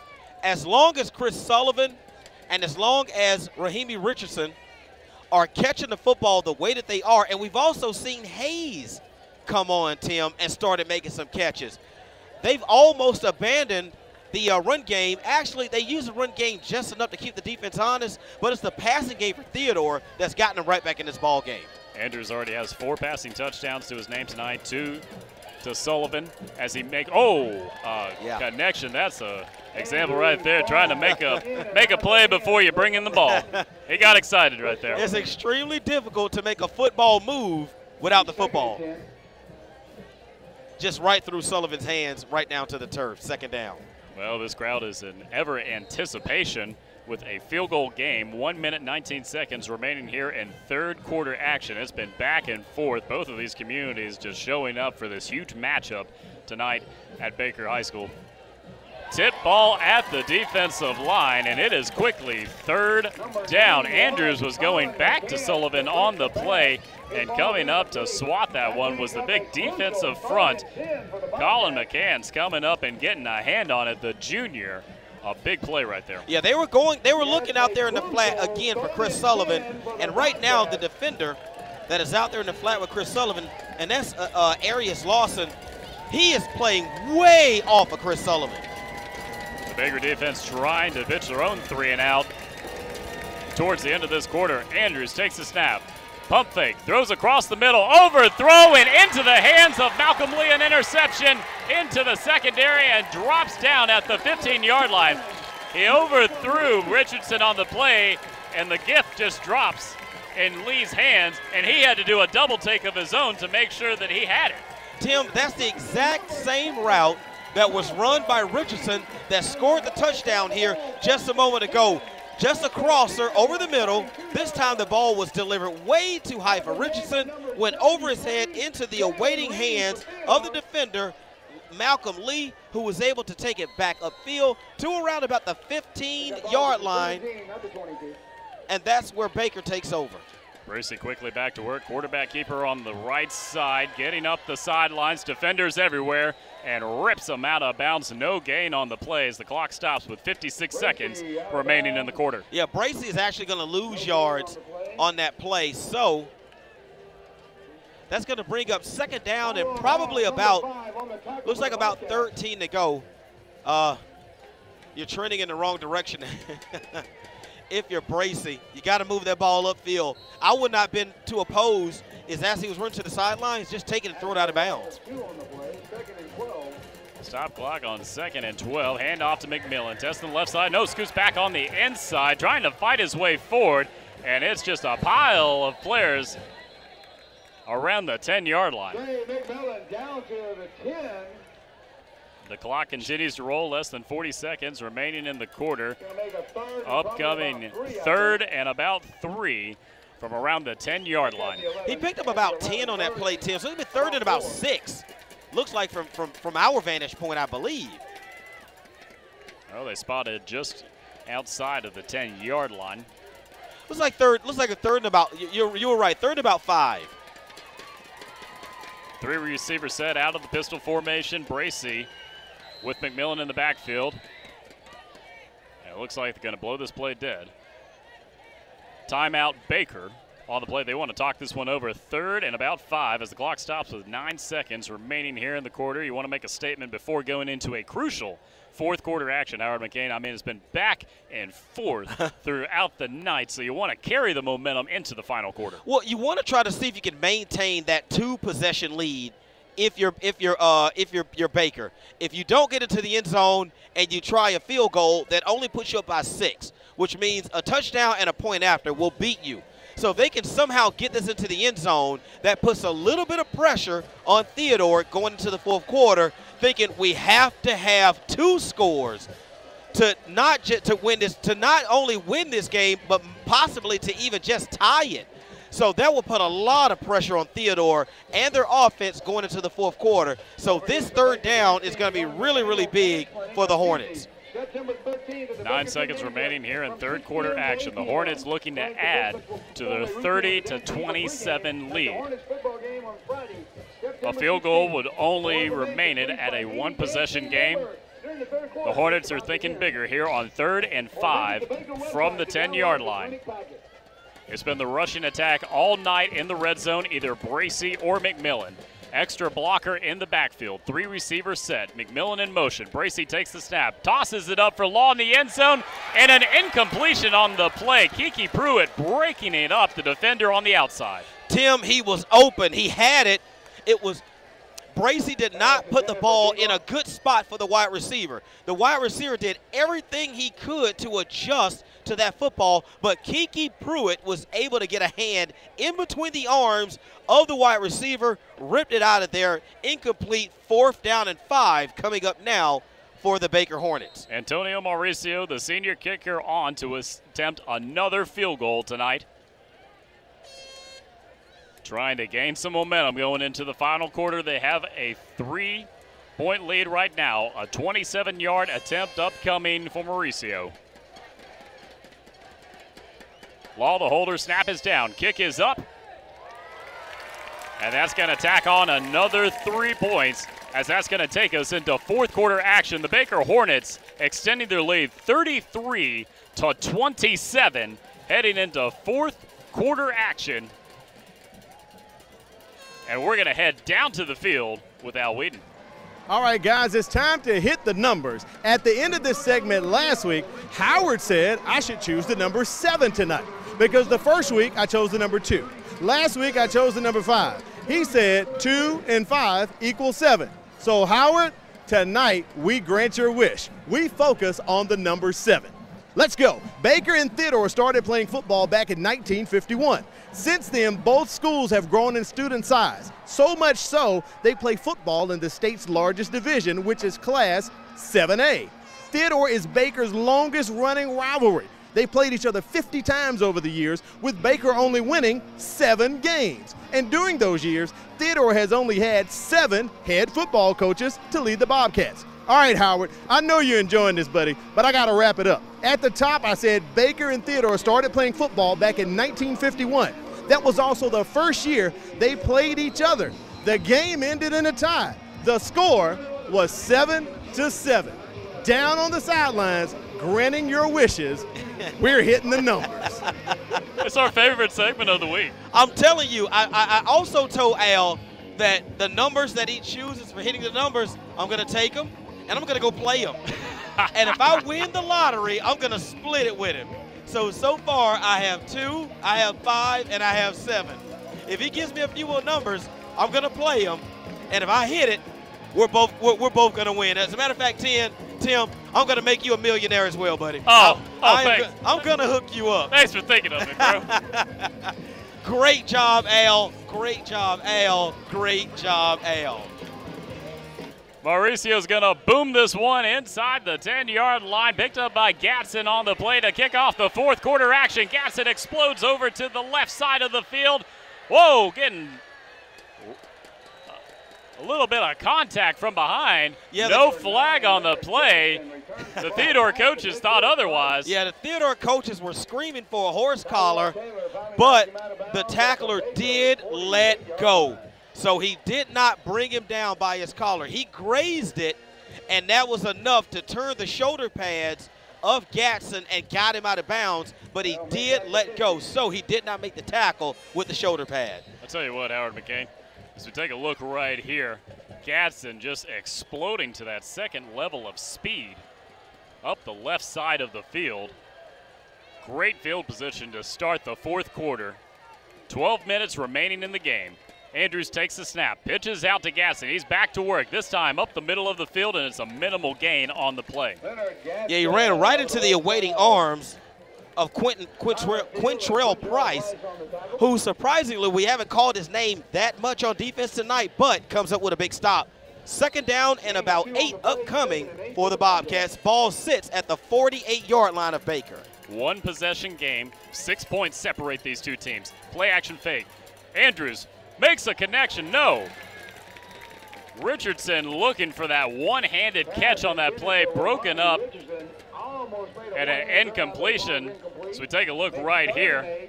They're looking for another deja vu. Yeah, same play. Richardson had a huge one handed catch last week. They tried to do it again right there, and it's quickly third and eight.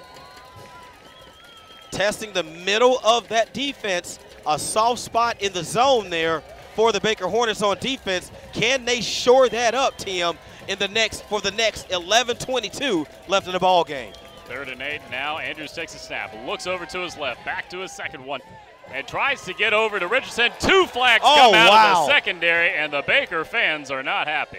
Well, Tim, when the football is in the air, if the wide receiver and the defensive back are both looking at the ball, they both have to have an opportunity to get to the football. It was Tyrell Taylor that was in coverage.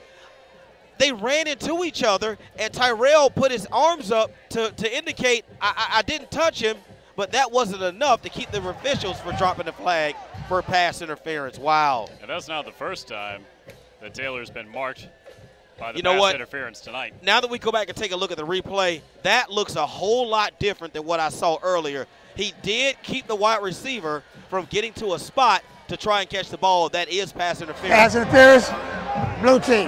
Yeah, that was a good call. That was a good call.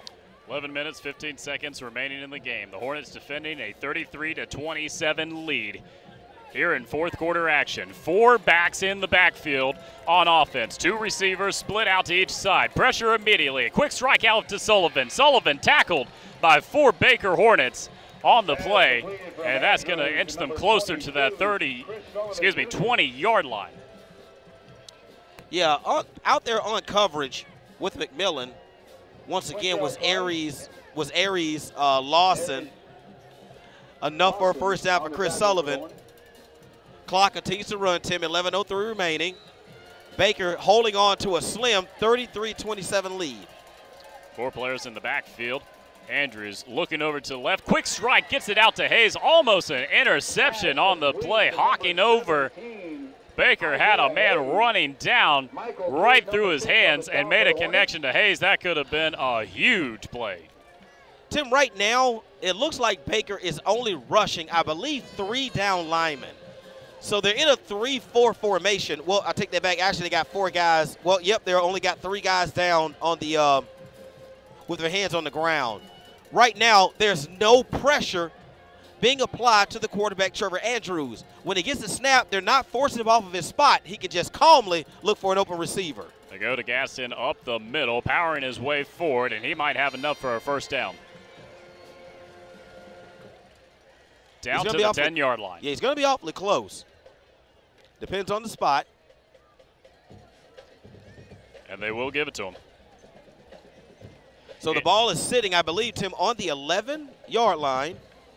So again, they can pick up a first down without getting into the end zone. Andrews quickly back to work. Two receivers split out to each side. Richardson lined up as the tight end. Running back was Gatson. Looking across the middle, and Sullivan into the end zone. His third touchdown of the night. Andrews' fifth passing touchdown goes 11 yards to his top target on the night, and we've got ourselves a tie ball game with 10 minutes remaining left in the game. Somehow, Baker is going to have to generate some pressure on Trevor Andrews. Trevor Andrews is getting an opportunity to calmly wait for his wide receivers to run their routes. That time, Chris Sullivan was wide open in the end zone. A flag is out on that point after.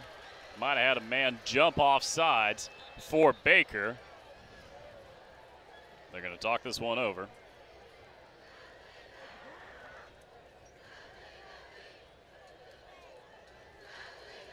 Head ball, encroachment, blue team. Could be looking at a re-kick right here. Flags all over the secondary. That's going to inch them closer for Dylan McCluster. So that's four touchdown passes now for Andrews, which matches his five. Oh my gosh. So Three to Sullivan, two to Romani Richardson. So Sullivan having a career night. Trevor Andrews having a career night, and we're still not done. We still have just a shade under 10 minutes left in this ball game, so uh, we could possibly looking at some Player of the Week candidates. Trevor Andrews and Romani Richardson probably racked up every possible Player of the Week award last week in the Mobile well, area, and this time Chris Sullivan is looking to join. Yeah, him. yeah, yeah. will try again for the extra point. It's been a clinic. I mean, it's been a passing clinic by Trevor Andrews the past couple of weeks. Dalton Roan looking for the hold right here on the point after. Snap is down. Kick is up. And it is good, and the Theodore Bobcats are on top now, 34 to 33. As we take a look at the fifth touchdown of the night, an 11-yard strike from Andrews to Sullivan. Just so much precision on the ball. The Theodore Bobcats are up 34 to 33 in fourth quarter action. You're watching the Mobile County Public School High School Football Game of the Week. Big Station 93 BLX saw an opportunity to fulfill this by partnering with the Mobile County Public School System. Together, they established the 93 BLX Rolling Reading Program. On Thursdays, DJs from the station stop by a selected elementary school to read and interact with the kids. This allows the DJs to help kids foster a love for reading and get them excited about all the new things they will learn and discover by reading a book. Reading is fun, and it starts with us. Welcome back to the Mobile County Public School High School Football Game of the Week. And I tell you what, Howard McCain, it is true to the words Game of the Week. It has been awesome. Theodore on top of Baker now 34 to 33. They came into halftime with a nine point deficit, came all the way back, and now back and forth. The Theodore Bobcats able to make a couple of stops, but Trevor Andrews, fifth touchdown on the night. The third going to Chris Sullivan has the Bobcats on top, but we still have 10 minutes left in this ball game. A short kick out to the 35-yard line is going to get picked up by Ooh. Baker. Woo! What a shot, and the ball, the ball is on the ground, and Theodore says they have it. We're waiting for an official signal right here. I haven't I haven't seen one yet. They're talking it over. This could be a huge momentum play, and it is. The Bobcats have the ball. They forced a fumble on that play. Tyrone Hall was the one that came out of there with the football for the Theodore Bobcats. But, Tim, if we get a chance to look at that replay, you're going to see Cameron Brown absolutely blow up the world. I believe that may have been Fernando Billups, that may have been on return. We'll take a look at that. But man, did he did he blow him up. The ball came out, hit the turf. It was recovered at the 41-yard line of Baker. Theodore back in control. Trevor Andrews comes out, pump fakes, throws out to Sullivan, stretches out, and incomplete on the play. Bringing up second down near the 40-yard line. There was finally pressure put on Andrews right in his face. And if you ever want to disrupt what a quarterback does on offense, come at him right in his face. That was Colin McCants that was able to finally get pressure on Trevor Andrews, and his pass to uh, Sullivan went awry. But they look like now, if you look now, Tim, they are rolling double coverage over to Sullivan, so they have a player uh, over the top and one underneath. Second down now. Four receiving targets, two tight end encroachment. Andrews, whoa, takes a shot in the backfield. He was looking for Gatson, but he was lined up on the other side. Clifford Norwood was able to knife in and get a huge hit on Trevor Andrews. There was a mix-up on the play. Trevor Andrews was looking to hand the football off to his to his running back. His running back stepped up into the formation to block. Just a breakdown, huge loss on the play, Tim. Pushes the ball back to the 46-yard line as we take a look here on the replay. Just a miscommunication between the quarterback and the running back. Down goes Trevor. Third and long now for Theodore, trying to capitalize off of the fumble recovery, and it looks like they are going to talk this one over. Yeah, this is a big play. Timeout, Theodore. Timeout from Theodore. Nine minutes remaining in the game. They have a one point lead. As we take a look at scores from around the Mobile area, Blount picking up a third win, 41 to 10 over Baldwin County. Vigor edging Citronelle coming all the way back to get their first win on the season 20 to 17 mcgill 43 to nothing shuts out murphy. robertsdale shutting out bryant 43 to nothing in fourth quarter action. mgm a late field goal lead 17 to 14 over fairhope B.C. Rain shutting out LeFlore 26 to nothing by far the best game in our area right here right here this thing has been this has been phenomenal. This has been an awesome, awesome football game. 34-33, 67 total points being scored in this ball game. And this is going to be competitive all the way down to triple zero. 9.02 left in the fourth quarter. Theodore up by a single point, 34-33. If you're just now joining us, it's been fireworks back and forth between these two teams throughout the entire night. Five passing touchdowns from junior quarterback Trevor Andrews of the Theodore Bobcats. The rushing attack for the Baker Hornets. Two touchdowns from Trey McMillan, two touchdowns from Darius Bracy. Back and forth, field goals left and right for both of these teams as they come out. Morgan tossing it out. Andrews, the receiver now, and an incompletion. They tried to throw a gadget play. Morgan let his intended target a Yeah. little too much on the play was Andrews, and that's going to bring up a fourth down. It's been a defensive swap back and forth for both of these units. Theodore unable to capitalize off of the forced fumble on that kickoff. And Morgan had pressure in his face. He's not a quarterback, Tim. He's a running back. So when he gets pressure in his face, he's not going to gather himself and calmly deliver the ball downfield as we get a punt here from the uh, Bobcats. McCluster punting. It's going to take a bounce inside that 15 yard line. Oh, McMillan playing with the Bobcats over there. he thought about going for it, faked him out for a second. well, that's good that he can play around right now. The the the the, uh, the game is still up for grabs. No one's in control right now. Only one single point separates both teams, 34-33. So you can still stay loose. You can still have a little fun on the field. Uh, you're not having to press or anything like that. You are at home and you're trailing by one. You got 8:46 left. At least a timeout remaining for the Baker Hornets. So uh, they're going to take over first and 10, Tim, at their own, I believe that's their own 12 yard line. A field goal can win the game.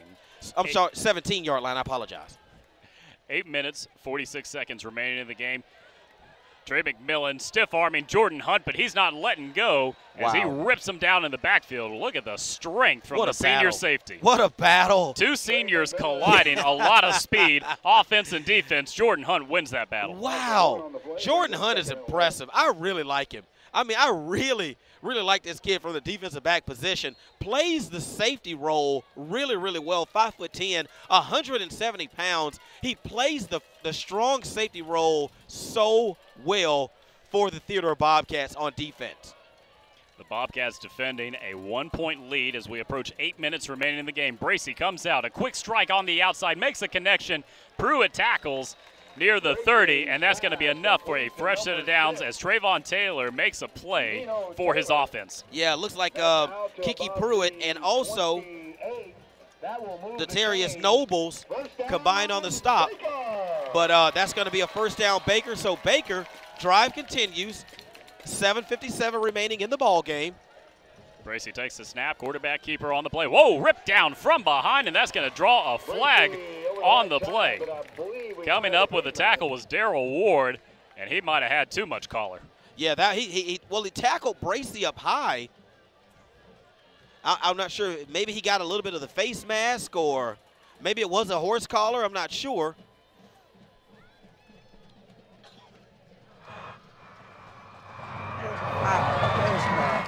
Good call, Howard McCain. Face mask on the play. Yeah, so that's gonna be that's gonna be 15 yards, Tim.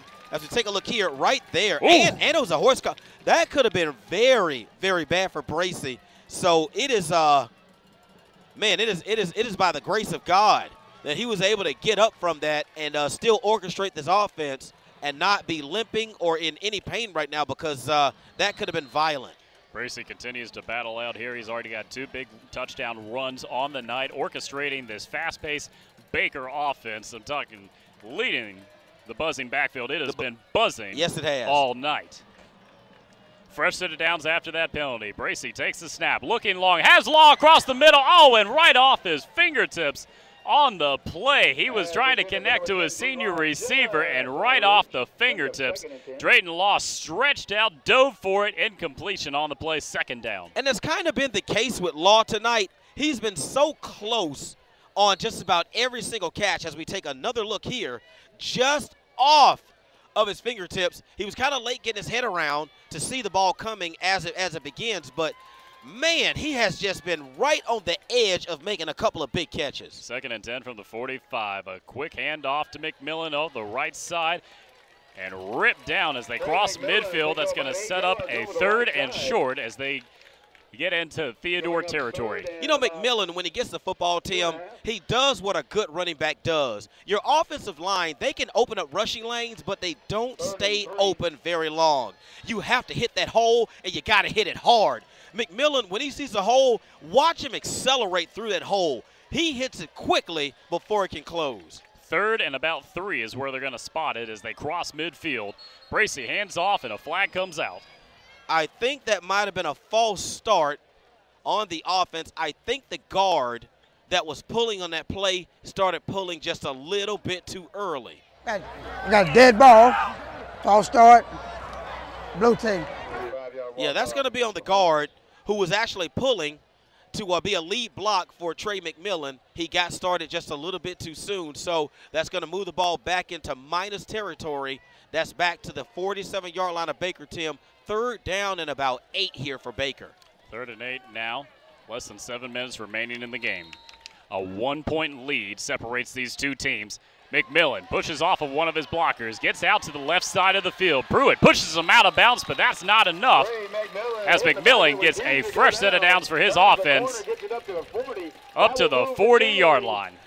That was a good job by McMillan because I thought early in that early in that run that he abandoned his lead block just a little bit too soon. Right there, he pushes off of number 59 and he gets out into the flat and just creates on its own. But uh, I thought he got away from his lead block just a little bit too soon. He knows better than I do. First down. Bracy takes the snap, hands off to McMillan, charges forward up the middle, and he's just going to be stopped after a three-yard gain on the play of the defensive line, holding on for dear life. Yeah, that was Jeremiah Hester, just like a big 250-pound ankle bracelet on uh, McMillan. Tried to pick up a couple of yards after contact, just nothing there, Tim. About two Two and a half yards on that pickup, Tim, and that's going to bring up now second down and a long eight now for the Bob. For, I'm sorry, for the Hornets. A methodical drive by Baker. Clock continues to tick away. Six minutes remaining in the game. Another handoff to McMillan. Going up the middle, spinning around defenders, and towards another first down as they cross inside the 30-yard line. And we got a player down on the turf right now for the uh, Baker Hornets, Tim, and it doesn't. Well, actually, he's up. Man, it may have been a cramp, I'm not sure, but or, or maybe he had a stinger, but man, he was rolling around on the turf for a second there, and all of a sudden he just got up and got right back in the huddle. I believe that's one of the big offensive linemen down there. That was Peyton Armour, the left guard. But uh, he's back in the ball game, ready to go. Fresh set of downs, and the referees are going to talk this over. It looks like we're going to get a heat-related timeout. It's been a hot fourth quarter. Six minutes remaining yes, right has. now. As the Theodore Bobcats defend a 34-33 lead, you're watching the Mobile County Public School High School Football Game of the Week.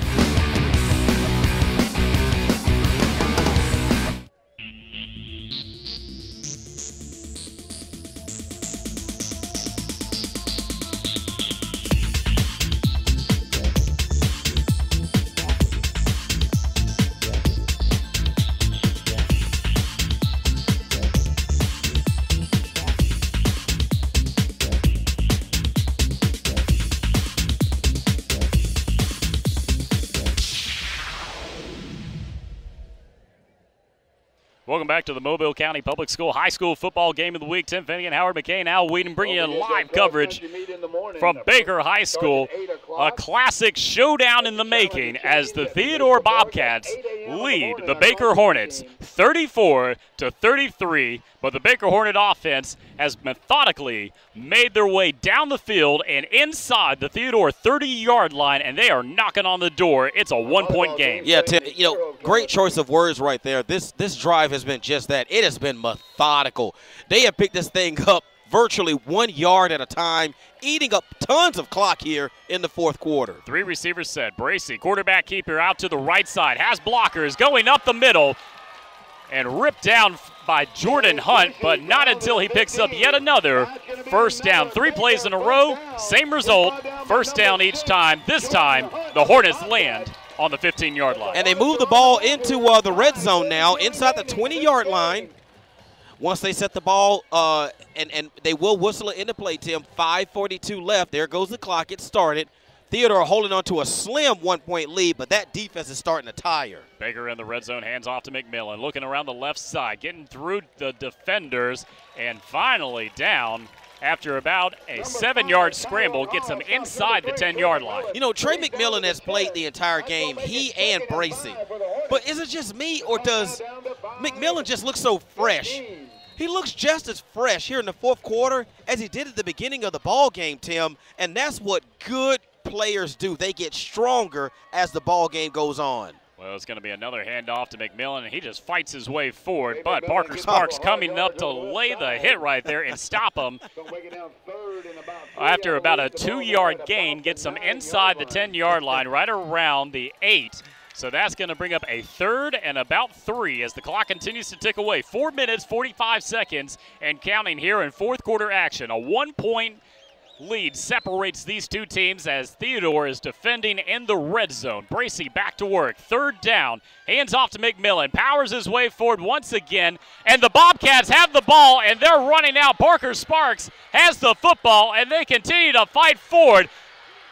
Running out down to the 45 yard line. What just happened on that play? Tim, I am not all that surprised that the football got coughed up right there because on the previous play, Trey McMillan trying to tell the referees that he was down. And it looks Okay. like the ball is coming back as these Baker fans explode. I don't know, Tim. I think that ball is going to go over to Theodore. Now, what normally happens is whenever there's a fumble, the uh, the uh, official throws a beanbag. Now we're watching here. He's fighting. The ball, is, out. The Parker ball is- Sparks has Yeah. the ball. He stripped it from McMillan, and he brought it all the way down. Now they threw the beanbag. Normally, when the official throws the beanbag, that indicates that there was a fumble, and they're gonna go ahead. They're gonna give this ball to Theodore, and that is the right call. Trey McMillan was losing that football. Actually, Tim, the previous play, as Trey McMillan was going to the ground, he was losing the football, but was able to get it back. On the very next play, as we see here, The knees are still up, and the ball is out right there as and- and Tamaje Porter, Porter, yeah. was underneath McMillan. pulling on his arm. What an instinctive play, keeping the player off the ground, the knees elevated. He has not made contact with the ground. The ball is clearly out. Parker Sparks taking advantage, quite possibly the biggest play of the night. Wow. And I mean, all the momentum, everything had was swinging in the direction of the home Hornets, and one of their best players turns the ball over deep in the red zone.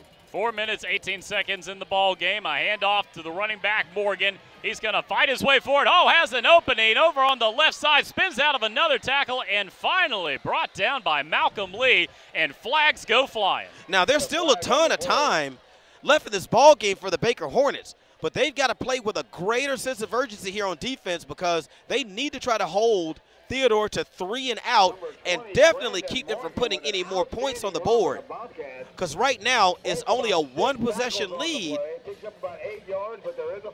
for the uh, for the Theodore Bobcats, but we do have a flag. They're going to change out some personnel on defense for Baker as the referees are talking this over.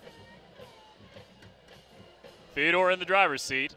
One point separating these two teams. Dead ball, personal foul, white team. Wow. And a penalty is going to back up Theodore. And that helps out Baker big time because that's a dead ball foul, which means that the carry does count. So they will mark the yards off, the penalty yards off from the spot of the foul back 15 yards. So that takes away the yards that were picked up as we take a look here. Here's Morgan with the football, Tim, just looking for a crease somewhere. Finally brought down by the Baker defense. And there's the there's the personal foul right there. There's a, a, a player that comes in late and levels a block. That was actually Johnny Quick Jr. that levels a block that they felt was unnecessary. Second and long now. Andrews working with four receivers. Richardson in as a blocker at tight end. Sullivan at the bottom of your screen. He's been the favorite target tonight. Andrews with the snap here on second and long. Looking back at Sullivan. Single coverage on the outside. Oh, and a breakup on the play. Nice job of getting position underneath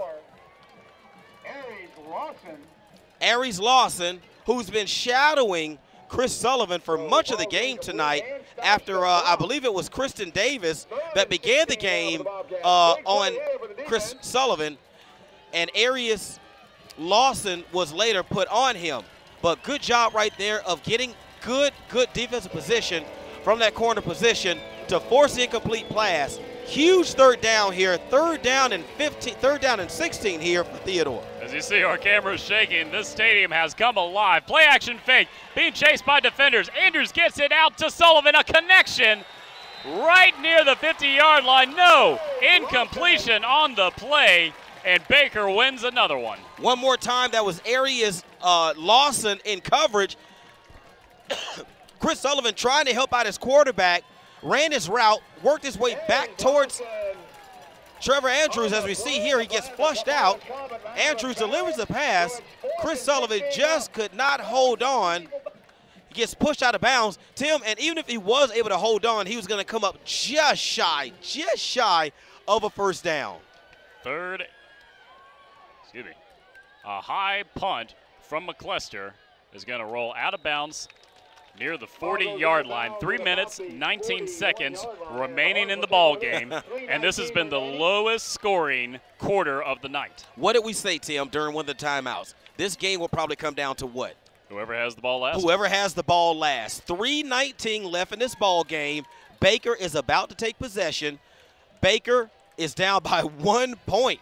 So it's a possibility that this could be a game-winning drive here for the Baker Hornets best believe when they got sit onto the field, they were told, do not give this ball back to Theodore tonight. Well, Bracy gives it off to McMillan on the play. Whoa, and Jordan wow. Hunt just knifes in a huge stop in the backfield. Was, wow. he not, was he not our highlight player for Theodore at the beginning of the ball game? For a reason. he has shown out here tonight. Awesome job of getting in and getting underneath the running back. We're going to be in action next Friday as Leroy takes on Citronelle live next Friday in the Game of the Week matchup.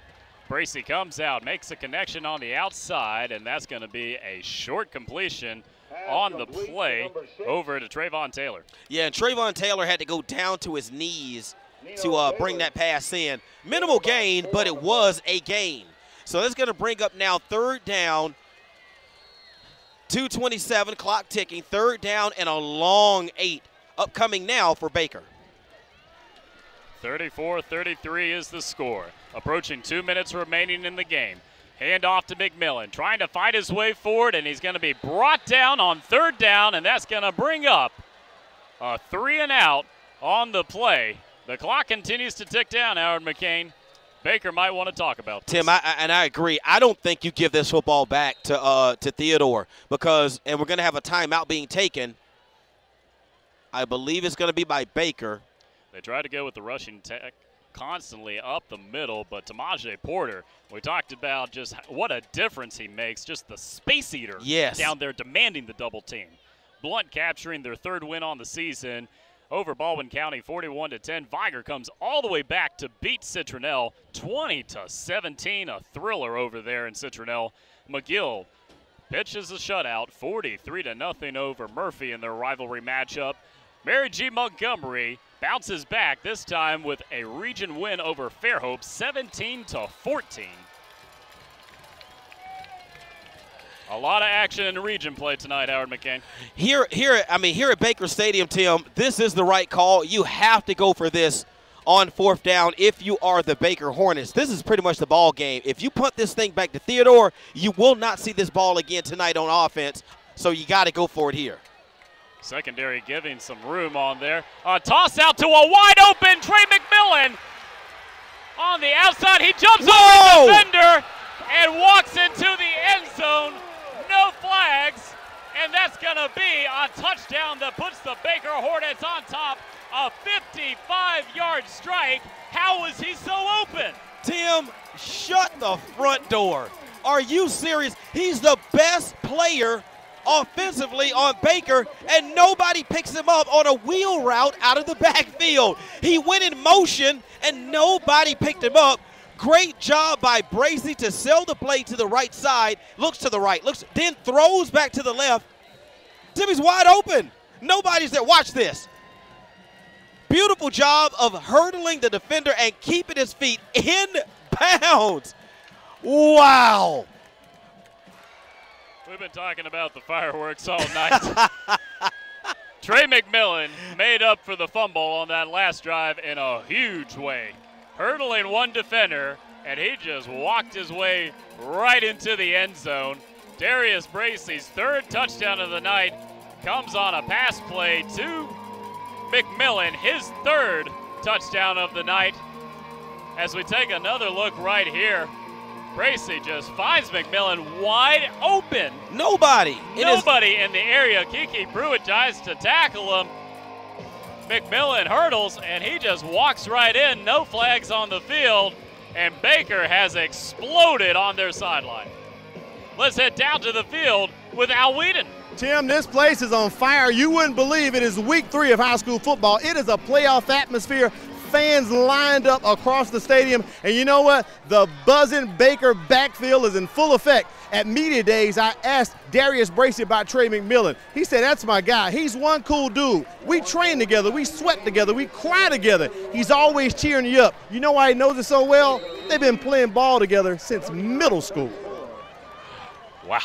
Well, it's showing tonight. I tell you, the continuity between the two of them. The Baker buzzing backfield, Al Whedon. I'll tell you, I like this catching on. As here on a two-point conversion, a Wow. toss over, a trick play, and Darius Bracy, the receiver, comes down, and the Baker Hornets extend their lead off of a huge two-point conversion. That pushes the lead now, Tim, to 41 to 34. Now, what that does is that puts the Baker Hornets up by a full possession. If they kick the point after, they're only up by six. But by going for the two, two point conversion and getting it, they're now up by a full touchdown. So Murph, I'm, I'm sorry, so Theodore has to score, and they have to convert the point after. McMillan pitches out on the side, and then he was able to toss over to Bracy. Comes down, and he's wide open on the play. Wow. Wow. I, I don't have any words. One minute, 49 seconds remaining in this game. It has lived up to truly be the high school football game of the week between the Bobcats and the Hornets. 41 34 is our new score. after another huge drive from Baker. 149 remaining, and they're going to kick away to the Theodore Bobcats. I'm ready for more.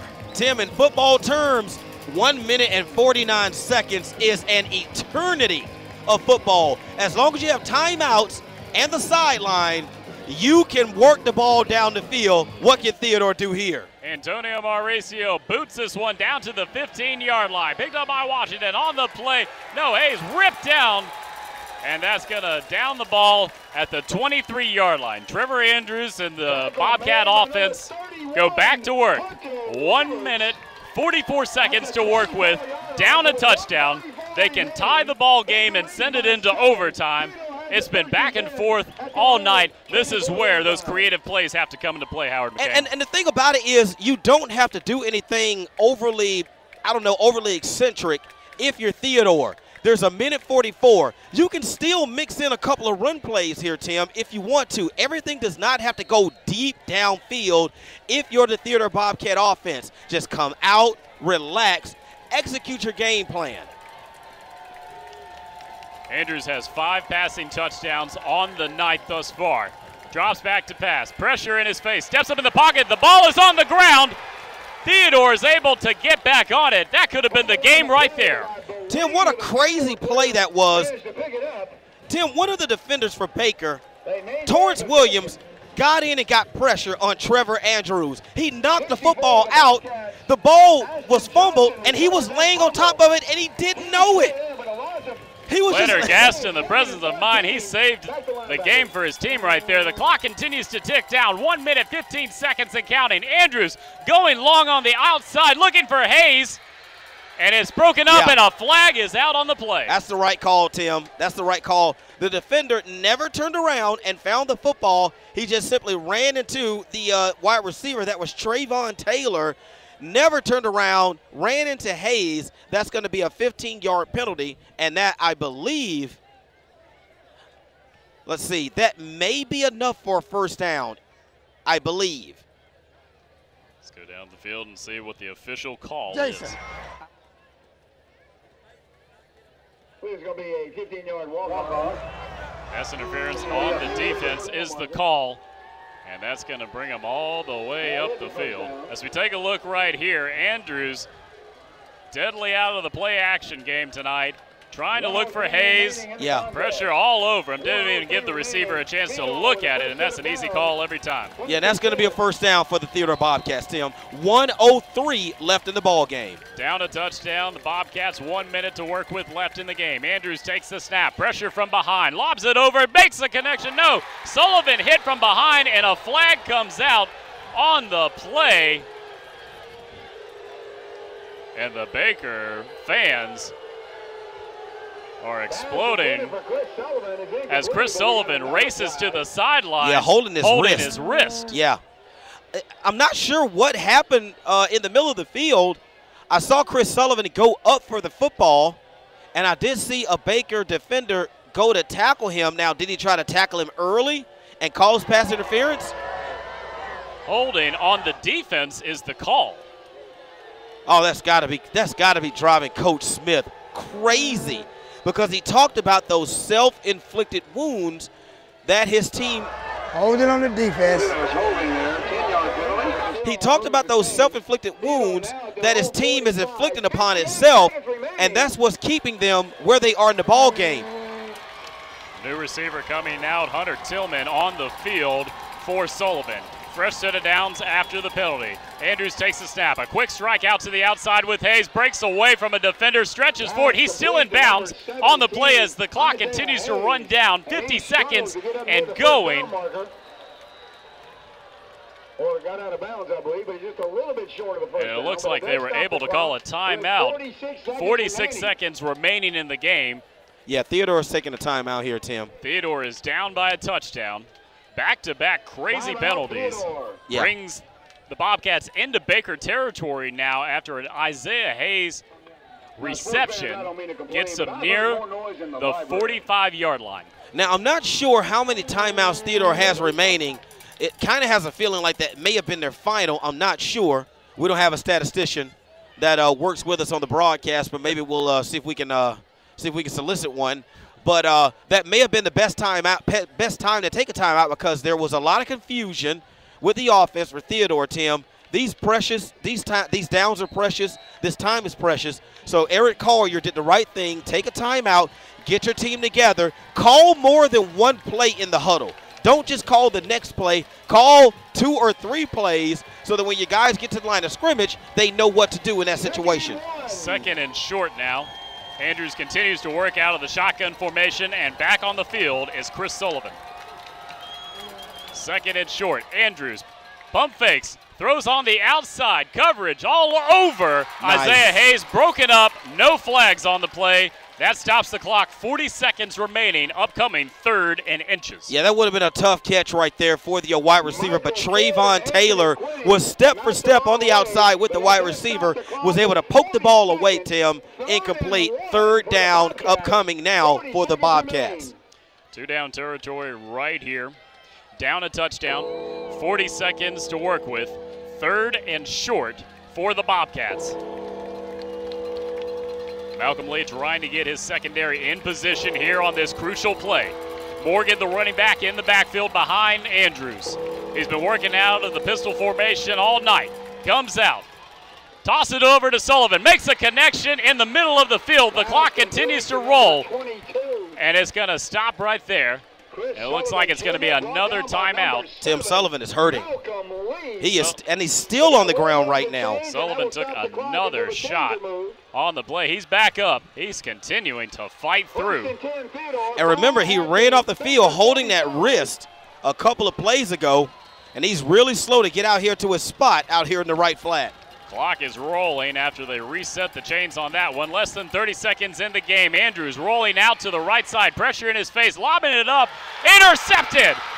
Intercepted by Malcolm Lee coming up once again for this secondary, and that might be all they need to seal the deal. what, what an ending. What an ending to this football game. What a fitting way to end this game, Tim. It's been an exciting football game from start all the way up into that interception thrown by Trevor Andrews, who's played a brilliant game tonight, Tim, with five touchdown passes, but it's just not going to be meant to be for the Theodore Bobcats as the Hornets step up and make a huge play to close out this game. Now it's just victory formation, take a knee, and get out of here with a win if you're the Hornets. Malcolm Lee with multiple interceptions on the night has been making plays left and right. We talked about his senior leadership. The Baker Hornets have missed him early on in the season, but he's been a crucial piece tonight. A major interception is going to end the game as the Hornets take a knee, and they are going to walk out with a huge region victory, 41 to 34. Wow.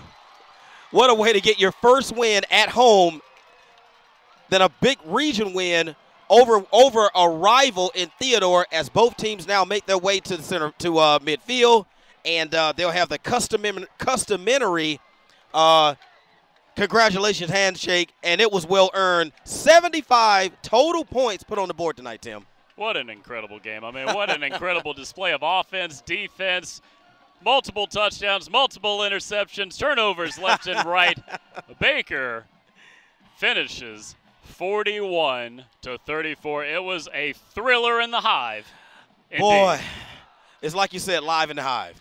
Let's head down to the field with Al Whedon standing by with the winning coach, Danny Smith.